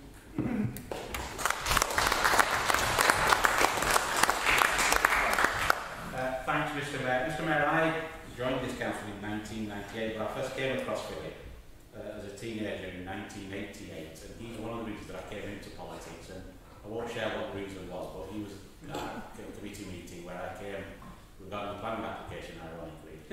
um, and Philip's view was different to mine at the time, and I thought I need to get into politics, and lo and behold, 10 years later I got elected. But, Mr Mayor, I think it's been the voice of calmness. I mean, you can judge at every council meeting the amount of pressure that he's under from the likes of me and other councillors. But you never see Philip lose his rag. That's, that's a rare commodity in council offices in this day and age. That some of them, you can tell when they've lost the rag. But Philip, see the same expression no matter what's going on inside his head. but I think Philip has been a loyal servant of this borough. And it's unique that he spent all his career working, most of his career working in Pendle, because no doubt he's had opportunities to move on elsewhere, but he's chosen to live in the borough and work in the borough as well. And I think that's a, a commitment and a testament to his loyalty.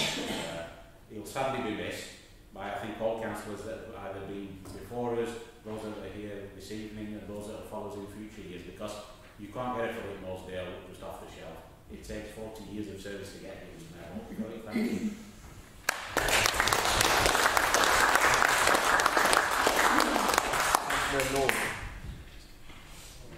Thank you, Mr Mayor. Um, just looking round this council chamber, I see that we have six ex-mayors, a mayor and a deputy. And something that, oh, I forgot about you. No, you did. But Philip's always been a great support to the, the city mayor and uh, I'm sure, you know, for deputies as well. He was always a, a great support to me. There's something that uh, tickled me the other week when I was talking to Philip about his retirement and he said, well, I'm going to carry on with Hartley Homes. I said, but they only sit once a year. You know, so good luck with that one. But thank you so much, Philip, for, for everything you've done. I, I'm just repeating what the people have said, but you, you will be missed and you will be a hard act follow. Thank you.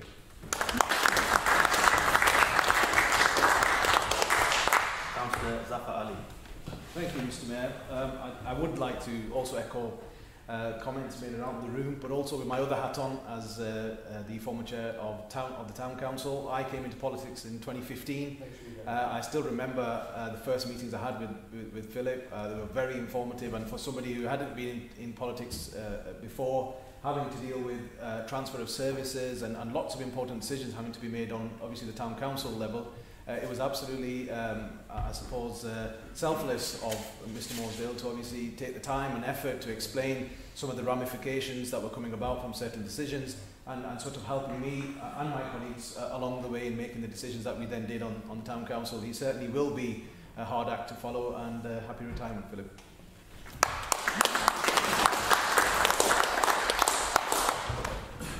Councillor Whitby, you've... Uh, Thank you, Mr Mayor. Um, of course, somebody uh, who was a councillor six years before uh, Philip um, uh, took up employment uh, with Pendle Council, I am staggered that he is retiring.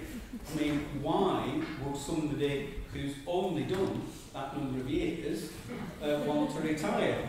But of course, um, Philip has, has, has attempted to uh, retire or partially retire um, uh, some time ago and uh, was, was uh, uh, ran down, did he run down to three days a week, I think it was, uh, and then had to sort of step back up again.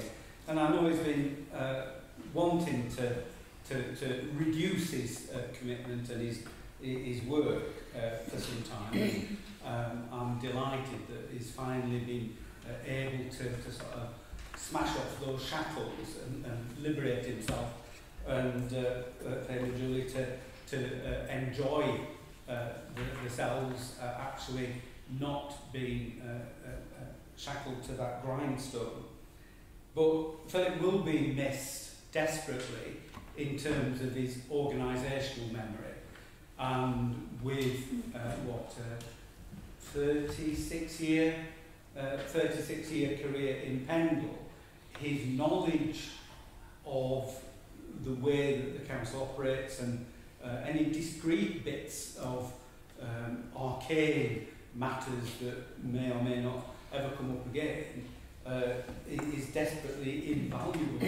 And I don't think people understand or appreciate just how much is lost to organisations when long-serving members with all that information uh, in the back of their heads uh.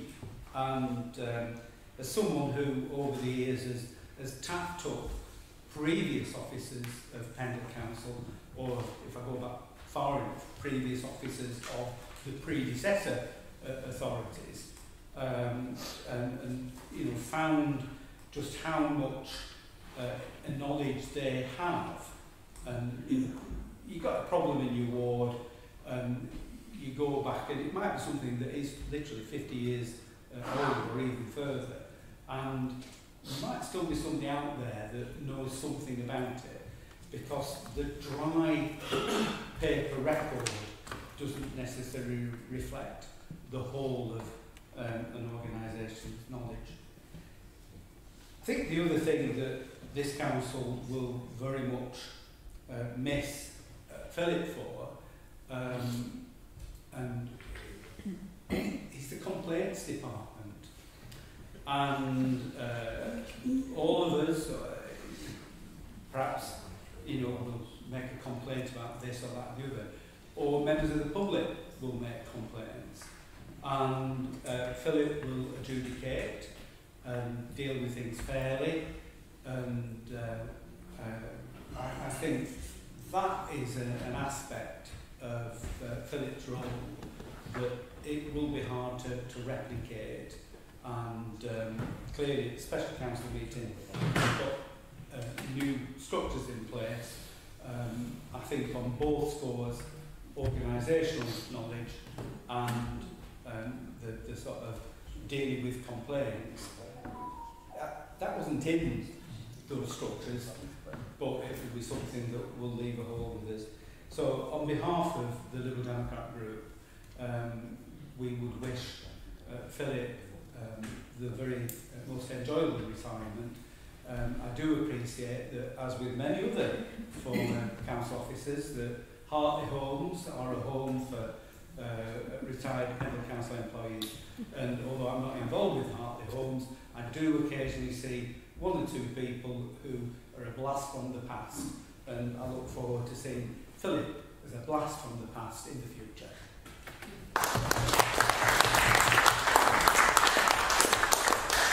Thank you. I don't think we have any other speakers, so if we... Uh, Mr Mayor, isn't Mr Mousdale not speaking? Councillor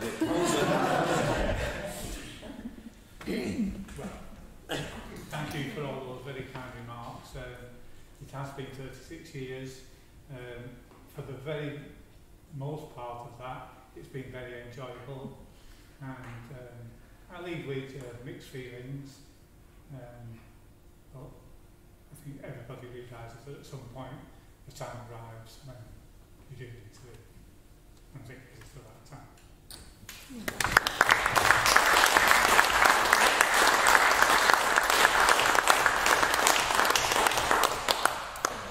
Thank you. So if we, uh, I think it was a coincidence that we that after the rules of procedure uh, thing. Everyone's quite harmonious. But anyway, we resume back to normal service then. Uh, agenda item number 12, uh, a councillor Whipp.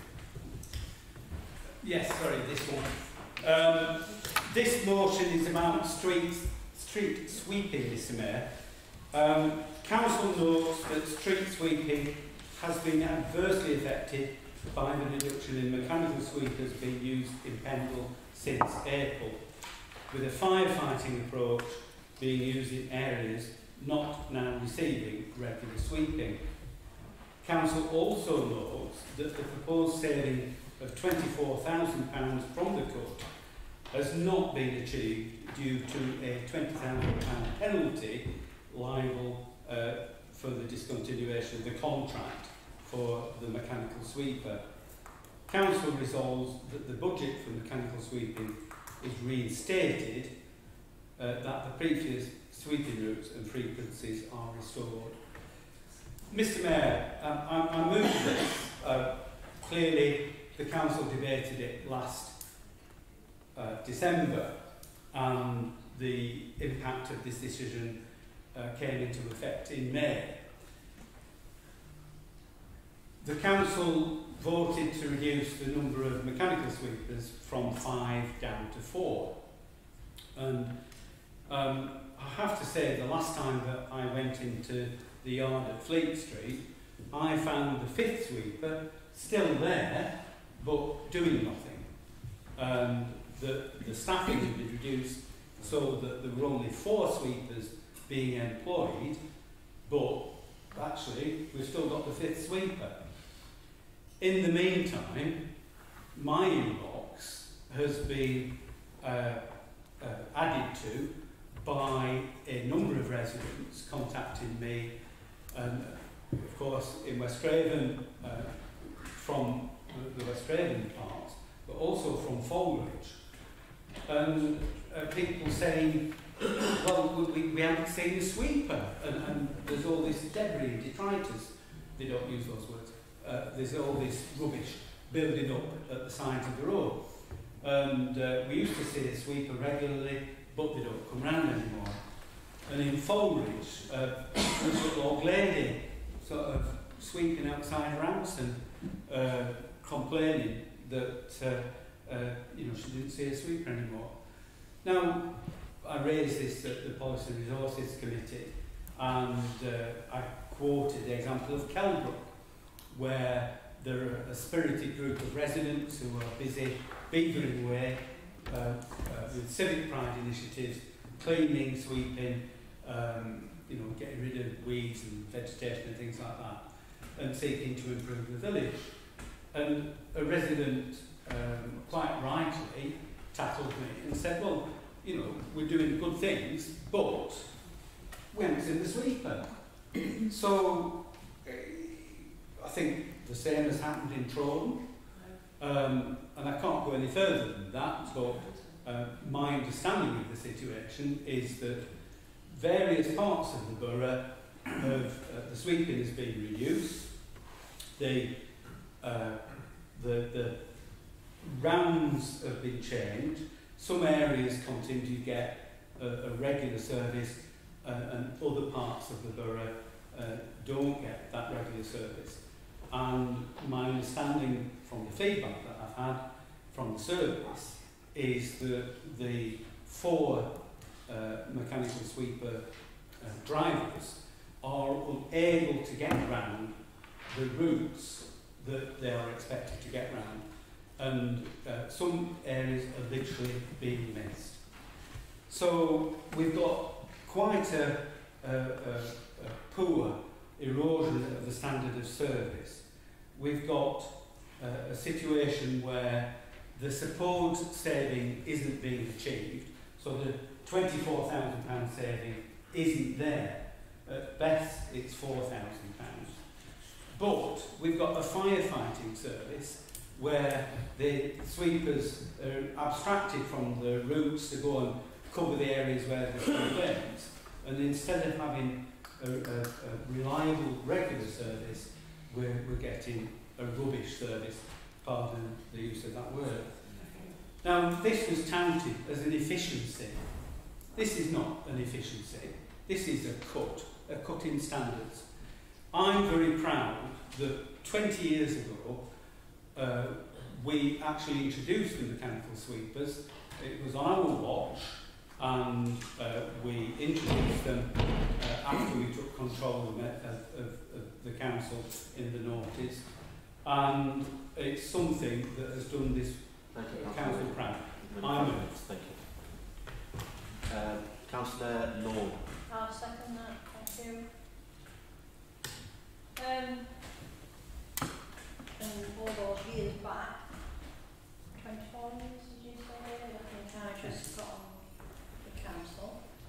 And councillor, the late councillor John David, who some may know, some may not know, um, fought very, very hard for this service and also fought very, very hard to keep the funding there, to keep the service going.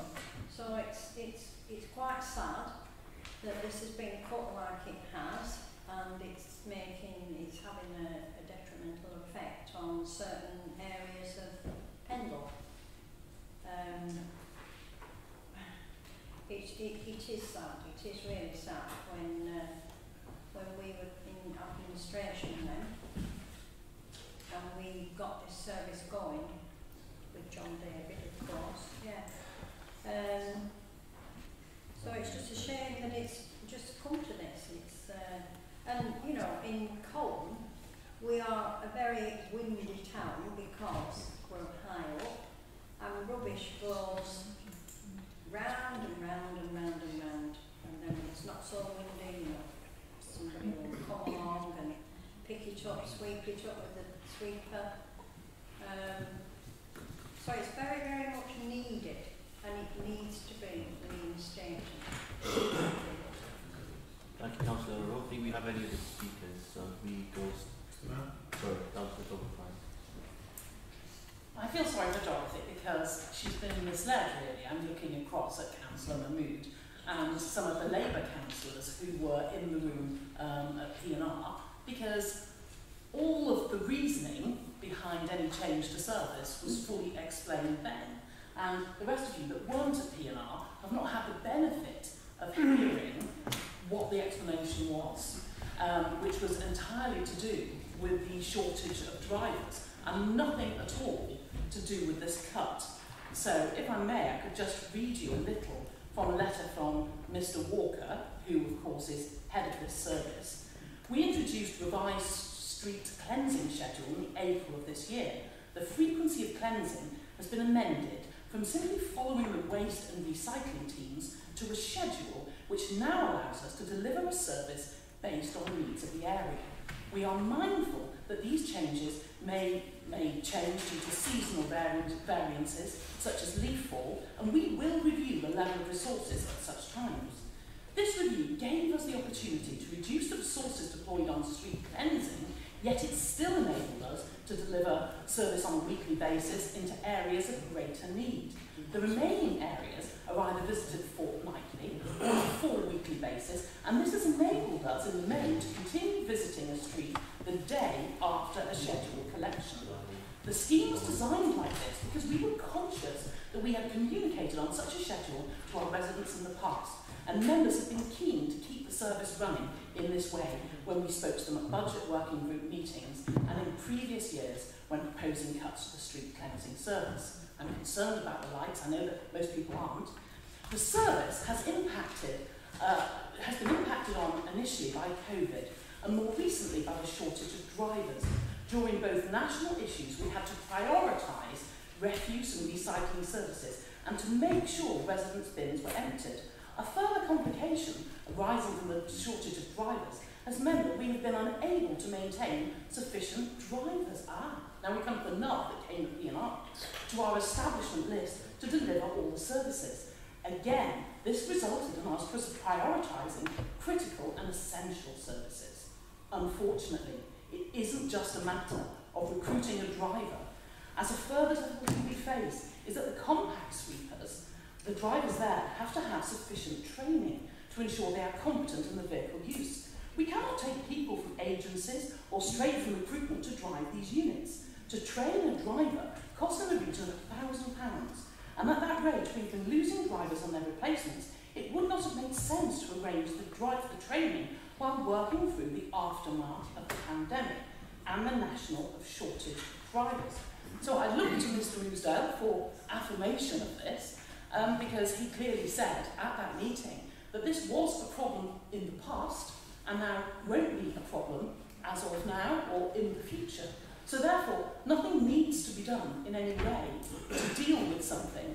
In a sense, what you were talking about is something that happened as a result of the national shortage of drivers and the problems with COVID, and that is now at an end. Thank you, Councillor Cockburn-Price. Councillor McLaughlin? Yes, Fine. So the, uh, goes, sorry, Councillor Uh, yes, I wasn't going to speak, but I think Sarah's correct in what she says, uh, and I've totally refute uh, the wording in the motion says is a firefighting approach. Totally refute the wording there. And the main reasons have, have been set out by Councillor Sarah Cockburn-Price, and the reasons why there have been difficulties is firstly there's the impact of COVID, and then obviously the national shortage of drivers. And it wasn't just Pendle Council having these difficulties, councils across the country. And there's been some real recruitment challenges as well, but HR um, have worked really well, so I'm grateful to uh, HR in, in, in getting uh, a team together. And hopefully in the next couple of weeks we should be up to uh, full capacity in terms of our drivers. Um, and I want to thank Council, uh, say Council Walker, uh, David Walker uh, and, and his team for the fantastic work that they've been doing throughout COVID and, and since then in really challenging circumstances with the difficulties they've had. And Mr Walker, we all know, is, is, is a brilliant officer. Every time you contact him, you get a reply uh, straight away, late at night sometimes as well. And uh, amazing work, and I think uh, want to put that on record for the, for the work that uh, Mr Walker does on behalf of the council and the residents. Uh, so the service that we, we have now is a much more focused approach uh, and it's, it's applied to areas that are needed the most. So I think there is, there is a sensible approach uh, and in terms of both the budget uh, savings as well, and also providing a service which is more efficient and addressing the areas of need. And that policy was resource committee. This is the third time we're having this discussion again. On, we, there's a team here. Uh, we've discussed it at the budget meeting, discussed it at policy resource committee where uh, the Labour and the Conservative group did uh, support council Whipp's uh, uh, am- amendments and this is the third attempt uh, to bring the same item uh, forward and we're discussing the same thing again. Councillor Ashford.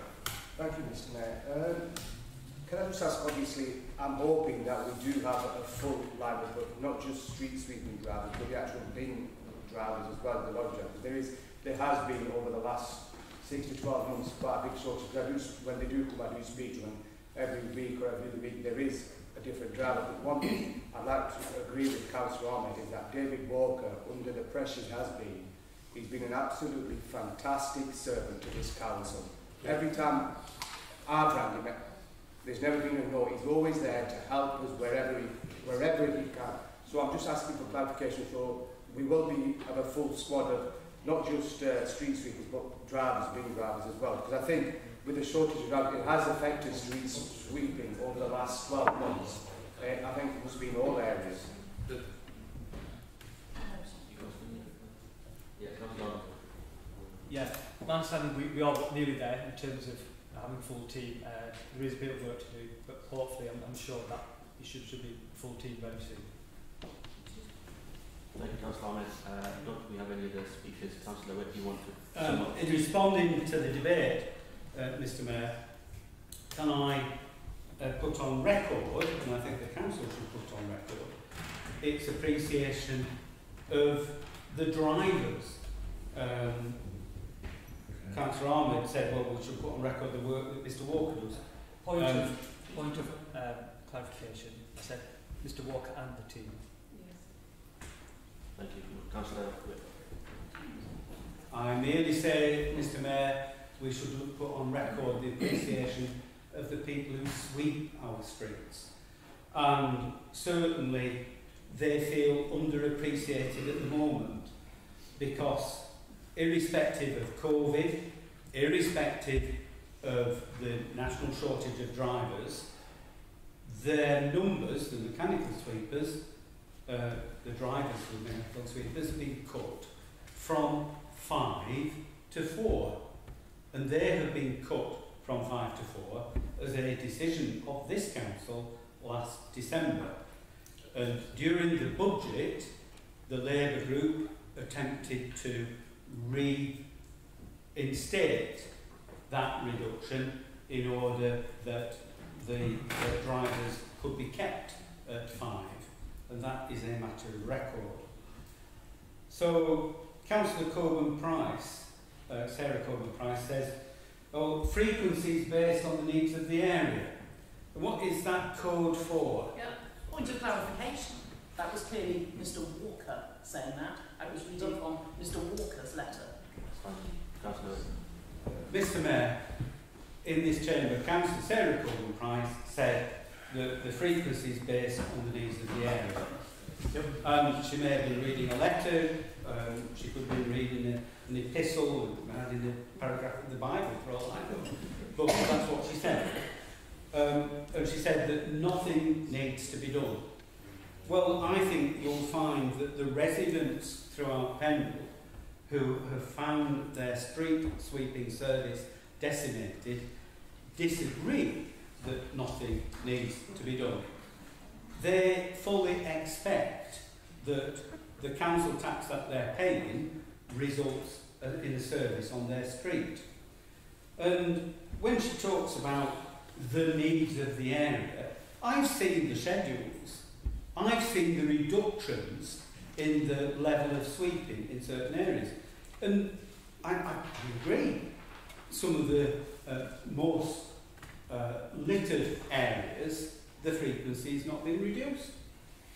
But when you get to uh, the leafier suburbs, when you get to the Reedleys of this world, when you get to those areas that, ooh, actually, they're paying more council tax because the value of the, the properties is higher, they're in a higher council tax band, they're not seeing the mechanical sweepers.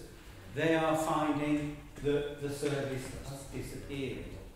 Now, I believe strongly, Mr Mayor, that those drivers have an enormous amount of pride in what they do.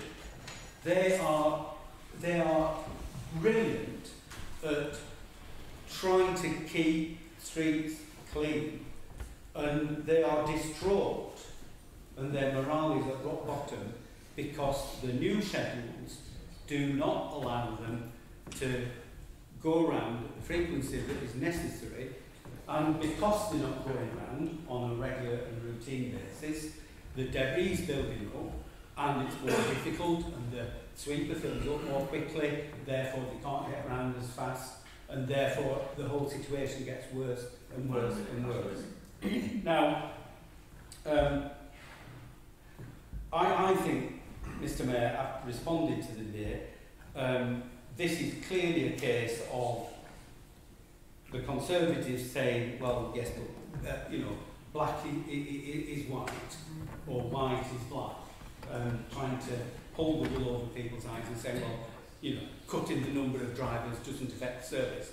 Well, I'm sorry, but the sort of Orwellian concepts are not something that the majority of councillors in this chamber should accept.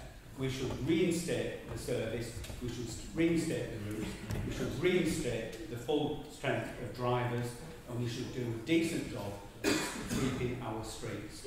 We can do so by voting for this tonight. Thank you, Councillor So we have a move and a second for the motion. Uh, can we have a show of hands of all those in favour of the motion?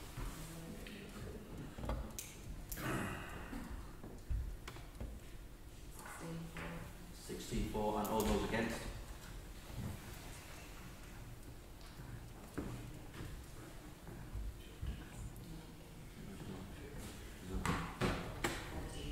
Fourteen against. Any abstentions? No, so that's uh, carried. Um, moving on then to item twelve B, sustainable development, Thompson. Um, thank you, Mr Mayor. Um, the motion states that the Council reaffirms its commitment to combat the climate crisis, notes that a major contributor to carbon emissions, especially in Hempstead, is domestic space heating, and that energy cost increases are becoming increasingly unaffordable for households. Mr Mayor, um, my motion says that Council believes that the Borough Council should set an example in promoting sustainable de- development through positive action. Accordingly, Council resolves that £371,000 of the Brownfield Sites Fund be allocated for provision of air source heat pumps at the Brownfield Development Site in Springhill Clearview by the Council's joint venture Together. Mr Mayor, this was considered at P&R uh, briefly, and it was stated that this isn't a proven technology, um, we shouldn't be spending money on this. Mr Mayor, air source heat pumps are uh, national policy of the current government. They are telling people to install them in their homes. It's a technology that has existed for decades. I'm sure every single member in this room has an air source heat. Except it's in reverse. It's cooling your fridge and freezer. Every single person in this room has one. Um, Mr Mayor, this technology for air source heat pumps, though it's taken a while to catch up to its cooling equivalent, um, is budding into adulthood. Um, it is proven, it's been used um, for decades now, um, and it's useful in climates much colder than ours. There's a lot of people saying air source heat pumps aren't good in the cold. Well, they are, Mr Mayor. Um, they're used in the United States, um, in the northern regions where it goes to sub-temperatures in winter on a regular basis. Um, Mr Mayor, air source heat pumps are not only better for the planet, um, they are better on the wallet. Um, they are so efficient at using energy. Um, it's quite unbelievable and it's something that is improving year upon year as new developments come out. Mr Mayor, if the gas that currently heats your home is sent instead to a power plant, um, converted to electricity, and then pumped to your home um, along transmission cables to then power an air source heat pump, it produces, even if it's 100% natural gas burning in a power generator, it is still better for the planet to heat your house with an air source heat pump than to burn it at home. Um, and that, that is an established fact. And it's something that we should set an example in this council. That is something we should be doing up and down the country, providing air source heat pumps um, for homes, and I think especially in a brownfield site, showing that it is uh, a doable option, um, it's something that we should be reaching for. Mr Mayor, just commenting on some of the other um, fears that have come up. Noise, they operate at the same noise level as um, air cons. Um, they hang outside a building, and bigger than air con, they're the same size. Um, and they can be run in reverse, they can cool the house in the summer. Um, it is a proven technology. If someone's going to say otherwise, they're wrong. Um, and I hope everyone considers tonight that this is a good step in the right direction. Thank you, Mr Mayor.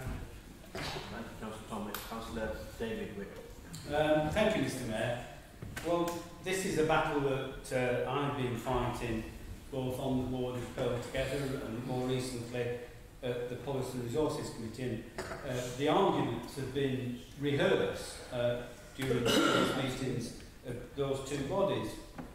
And um, someone, uh, Councillor Sarah Cockburn-Price, said, uh, well, they might be the Betamax uh, of the of the uh, uh, climate change world. Uh, she was referring to, you know, the, the, the competing technology that uh, uh, failed to, to take off when video cassette recorders uh, became widely available. Um, I just, I, I, I was staggered uh, when uh, she said that because, as Councillor Tongan said in moving this, uh, it is something that you know, operates in virtually every home in the in the country and uh, a lot of uh, homes, most homes in the developed world. um, there seems to be some reluctance uh, to be at the leading edge of uh, uh, uh, installing air source heat pumps. Now, I thought the Council's commitment to address climate change was real. I thought that the Council was um, wholeheartedly supporting cutting carbon emissions.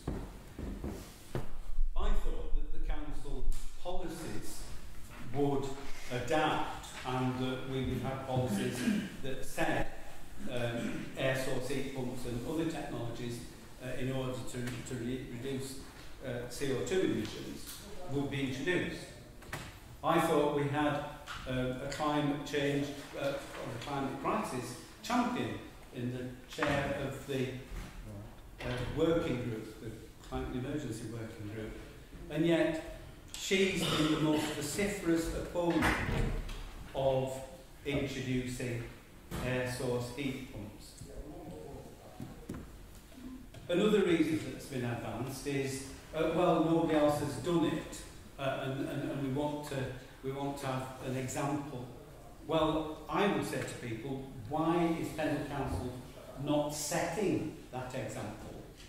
If going to have policies through the planning process that require uh, energy efficient measures in new homes, why are we not showing people that this is what they are and this is how they work?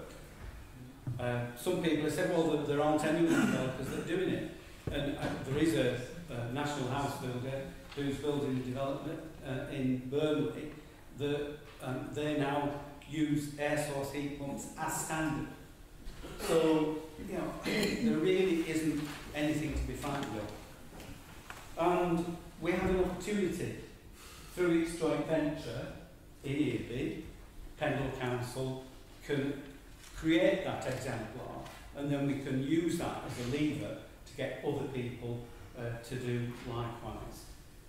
There has to be somebody that takes the first step. Well, it's not really the first step because thousands of first steps have been taken elsewhere in the country. It's just that in Pendle we seem to be rather conservative. And we have a, a good example at the Oak Mill development in Colne, which we championed a few years ago, because in order to make that work, uh, as a council, we put in £350,000 from the Brownfield Sites Fund in order to make it stack up. We can do, we can do exactly the same in Earby with the Spring Mill development by proposing this £371,000, which can be afforded within the one and a quarter million pounds that there is in the Brownfield Sites Fund in order for this work to proceed. And for this council, as part of that joint venture, being prepared to put its money where its mouth is, invest in the technology that will help mitigate the climate crisis. And just remember, it's only a couple of weeks ago, uh, those searing temperatures of over 40 degrees, record-breaking temperatures, which uh, between 2 and 4 degrees of that was due to the climate crisis, climate change, and the carbon cycle being disrupted. We have an opportunity here tonight to put something practical in place that will help address that. We should Thank vote you, for it. No other speakers? No, sorry. Sorry, Councillor Corbyn first. I'm hardly vociferous, really. Um, at the first meeting of Pearl, I asked the, the board to investigate whether house prices going up would have an effect and perhaps the desirability of air source heat pumps would have an effect, an effect on, on the viability of this development because I was seeking to see, I can see Councillor Maroon nodding his head, I was seeking to see whether the gap was in fact a lot closer than was presented. And they did say at the time all the financing and, and talks of budgets had happened before Christmas and loads has happened since Christmas and people are really concerned about climate change and I felt that people might be really keen to have these houses. So we decided to defer the decision, they decided to get the extra information and they sent us this nine page report. So I seized upon the report and thought, oh, you know, what do petties say? Is it all about the money? But when you read the report, it isn't all about the money. I have to take my specs off because I'm terribly short-sighted. So the thing is here, it's not about the money at all. The money is mentioned, but in fact, it's this sort of, this particular form of development has very close small houses together. And these things, as has already been explained, act in reverse. So they're very loud in the winter, they're sort of 60 decibels, and nobody knows because they couldn't find a comparable housing development anywhere in the country that had this proximity of houses with this proximity of air source heat pumps. And they sort of named all of the risks, which they wrote in capital letters in this report, the, the risk of an installed system on this scale, the siting within each property domain. So they have to be separate from the property, there has to be a gap. These are small plots, these things are sizable units. They actually use a large amount of electricity, they actually are electricity thirsty, and they said it's possible that this site in Earby doesn't couldn't meet the demand. um, they have to reconfigure the interior of each house, the cylinder cupboards, rooms, doors, plumbing. I was less concerned about that. But the noise they felt would lead to complaints. And actually when it was operating, they felt it would lead to significant problems. And they're very, very worried about whether they could get enough of them and who would maintain them and who would install them and how effective they would be because there was no example anywhere of, of a comparable development. And they were concerned that actually the big visual appearance of these big units in these small spaces would put people off. So, taken all together, they felt there was an enormous risk. They write here, as stated, this is an untested system, and who knows what impact 53 ASHPs in close proximity to one another would have on the scheme or the neighbouring properties. We have not been able to locate any large-scale residential developments where ASHPs have been installed. And they then really pointed out, because I was very keen on the sort of climate change element, they said, these homes are the most efficient future home building standards. They offer future proofing ready for low carbon heating systems. They offer significant improvement to insulation and air tightness. They have improved ventilation standards. They have mitigation against overheating. They have solar panels. And they have very stringent U values and air tightness, as well as obviously you'd expect electric charging points. And so as you read through this sort of nine pages, you realise that it's not about the money. Um, you know, they say you can't, you can't screen these things. So in fact, I do feel that just based on sense, this, this can't pass. And also, in the meeting, there wasn't one person that supported Councillor Whipp. None of the councillors supported him, and none of the board members did. So if you were to overturn that tonight, how would that play, taking that back to the Pearl Council, uh, the Pearl Board, that have made their decision on the logic of the report that most of you haven't seen? Thank you, Councillor Price. Uh, Councillor Stone. Thank you, Mr Mayor. Um, at a time when many of our residents and constituents are facing horrible choices between heating and eating, I wonder why.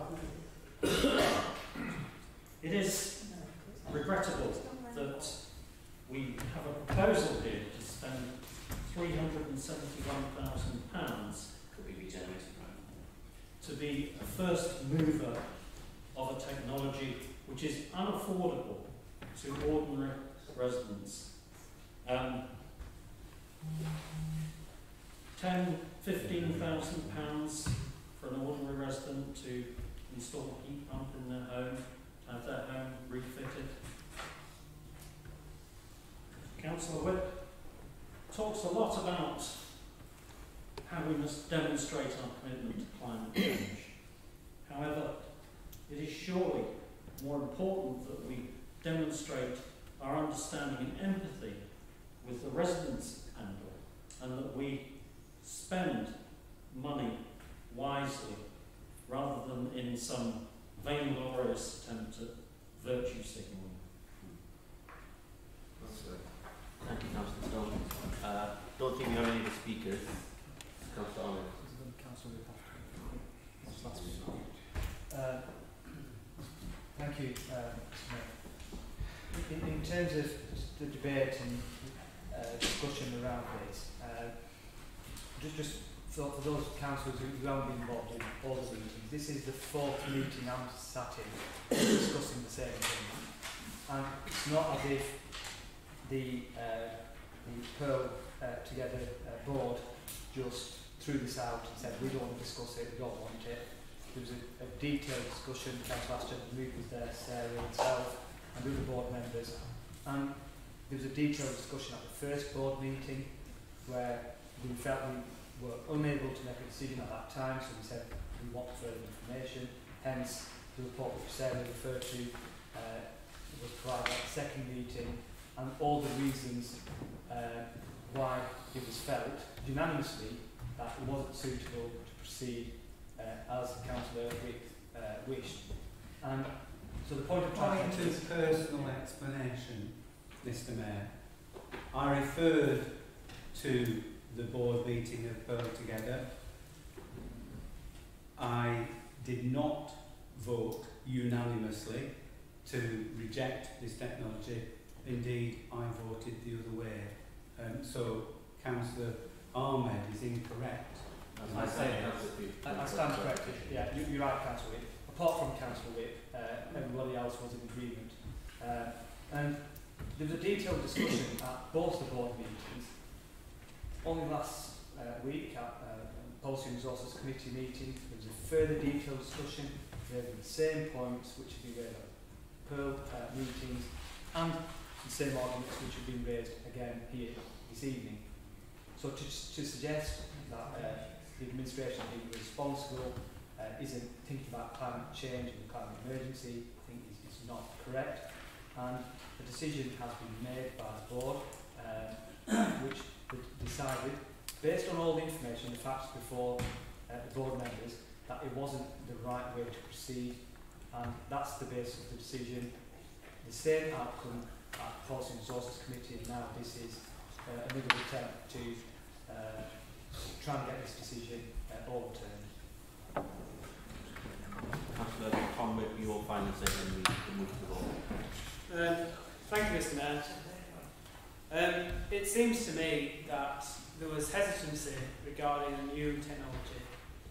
And so they went back and looked at it and got a report back, a nine-page report, on all of the negatives regarding this and all the unknowns. Mr Mayor, if I was hesitant about the subject and got a nine-page report back explaining all these negative things, I would be a bit taken aback. And I think that is a big example of confirmation bias. It's, it's not a fair representative way to look at the pros and cons of a new technology. Um, Mr Mayor, the affordability of these things um, is not in question.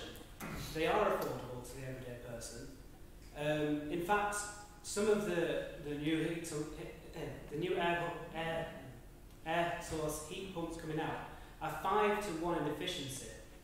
Mr. Mayor, currently, well not currently, traditional um, electric heaters are 100% efficient. If you plug an electric heater into the wall, it will turn that electrical energy into heat energy 100% efficient.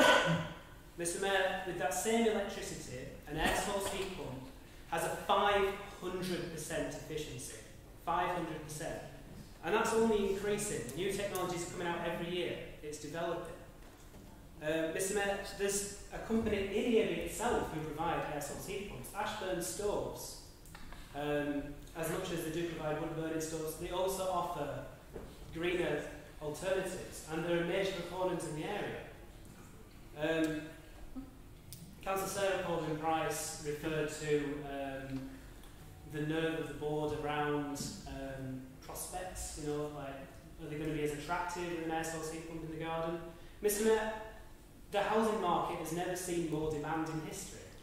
Um, I doubt some air source heat pumps uh, would reduce um, the attractiveness of development to buyers.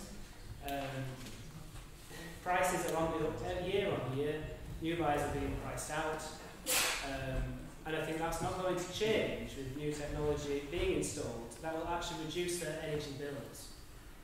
Um, Mr Mayor, I'm not going to repeat myself. Um, I just wish maybe that someone at Pearl had put a report together that explained all the positives as well. Um, maybe nine pages of them, and maybe if that was presented instead of a nine-page negative report, um, that some opinions might have been swayed. Mr Mayor, um, I hope everyone supports this. It is a positive step. Um, it's not like we're stepping out into an unknown void. Um, people are doing this already. It's just a question of the scale. It's just a question of putting ourselves out there, going out of our comfort zones maybe, um, and doing something better for the planet. Thank you, Mr Mayor. Thank you, Councillor Whipp. So we have a, a motion and that's been seconded. Can we have a show of hands of all those in favour of the motion?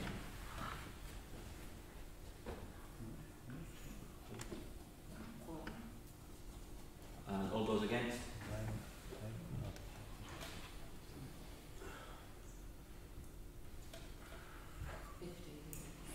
And any abstentions?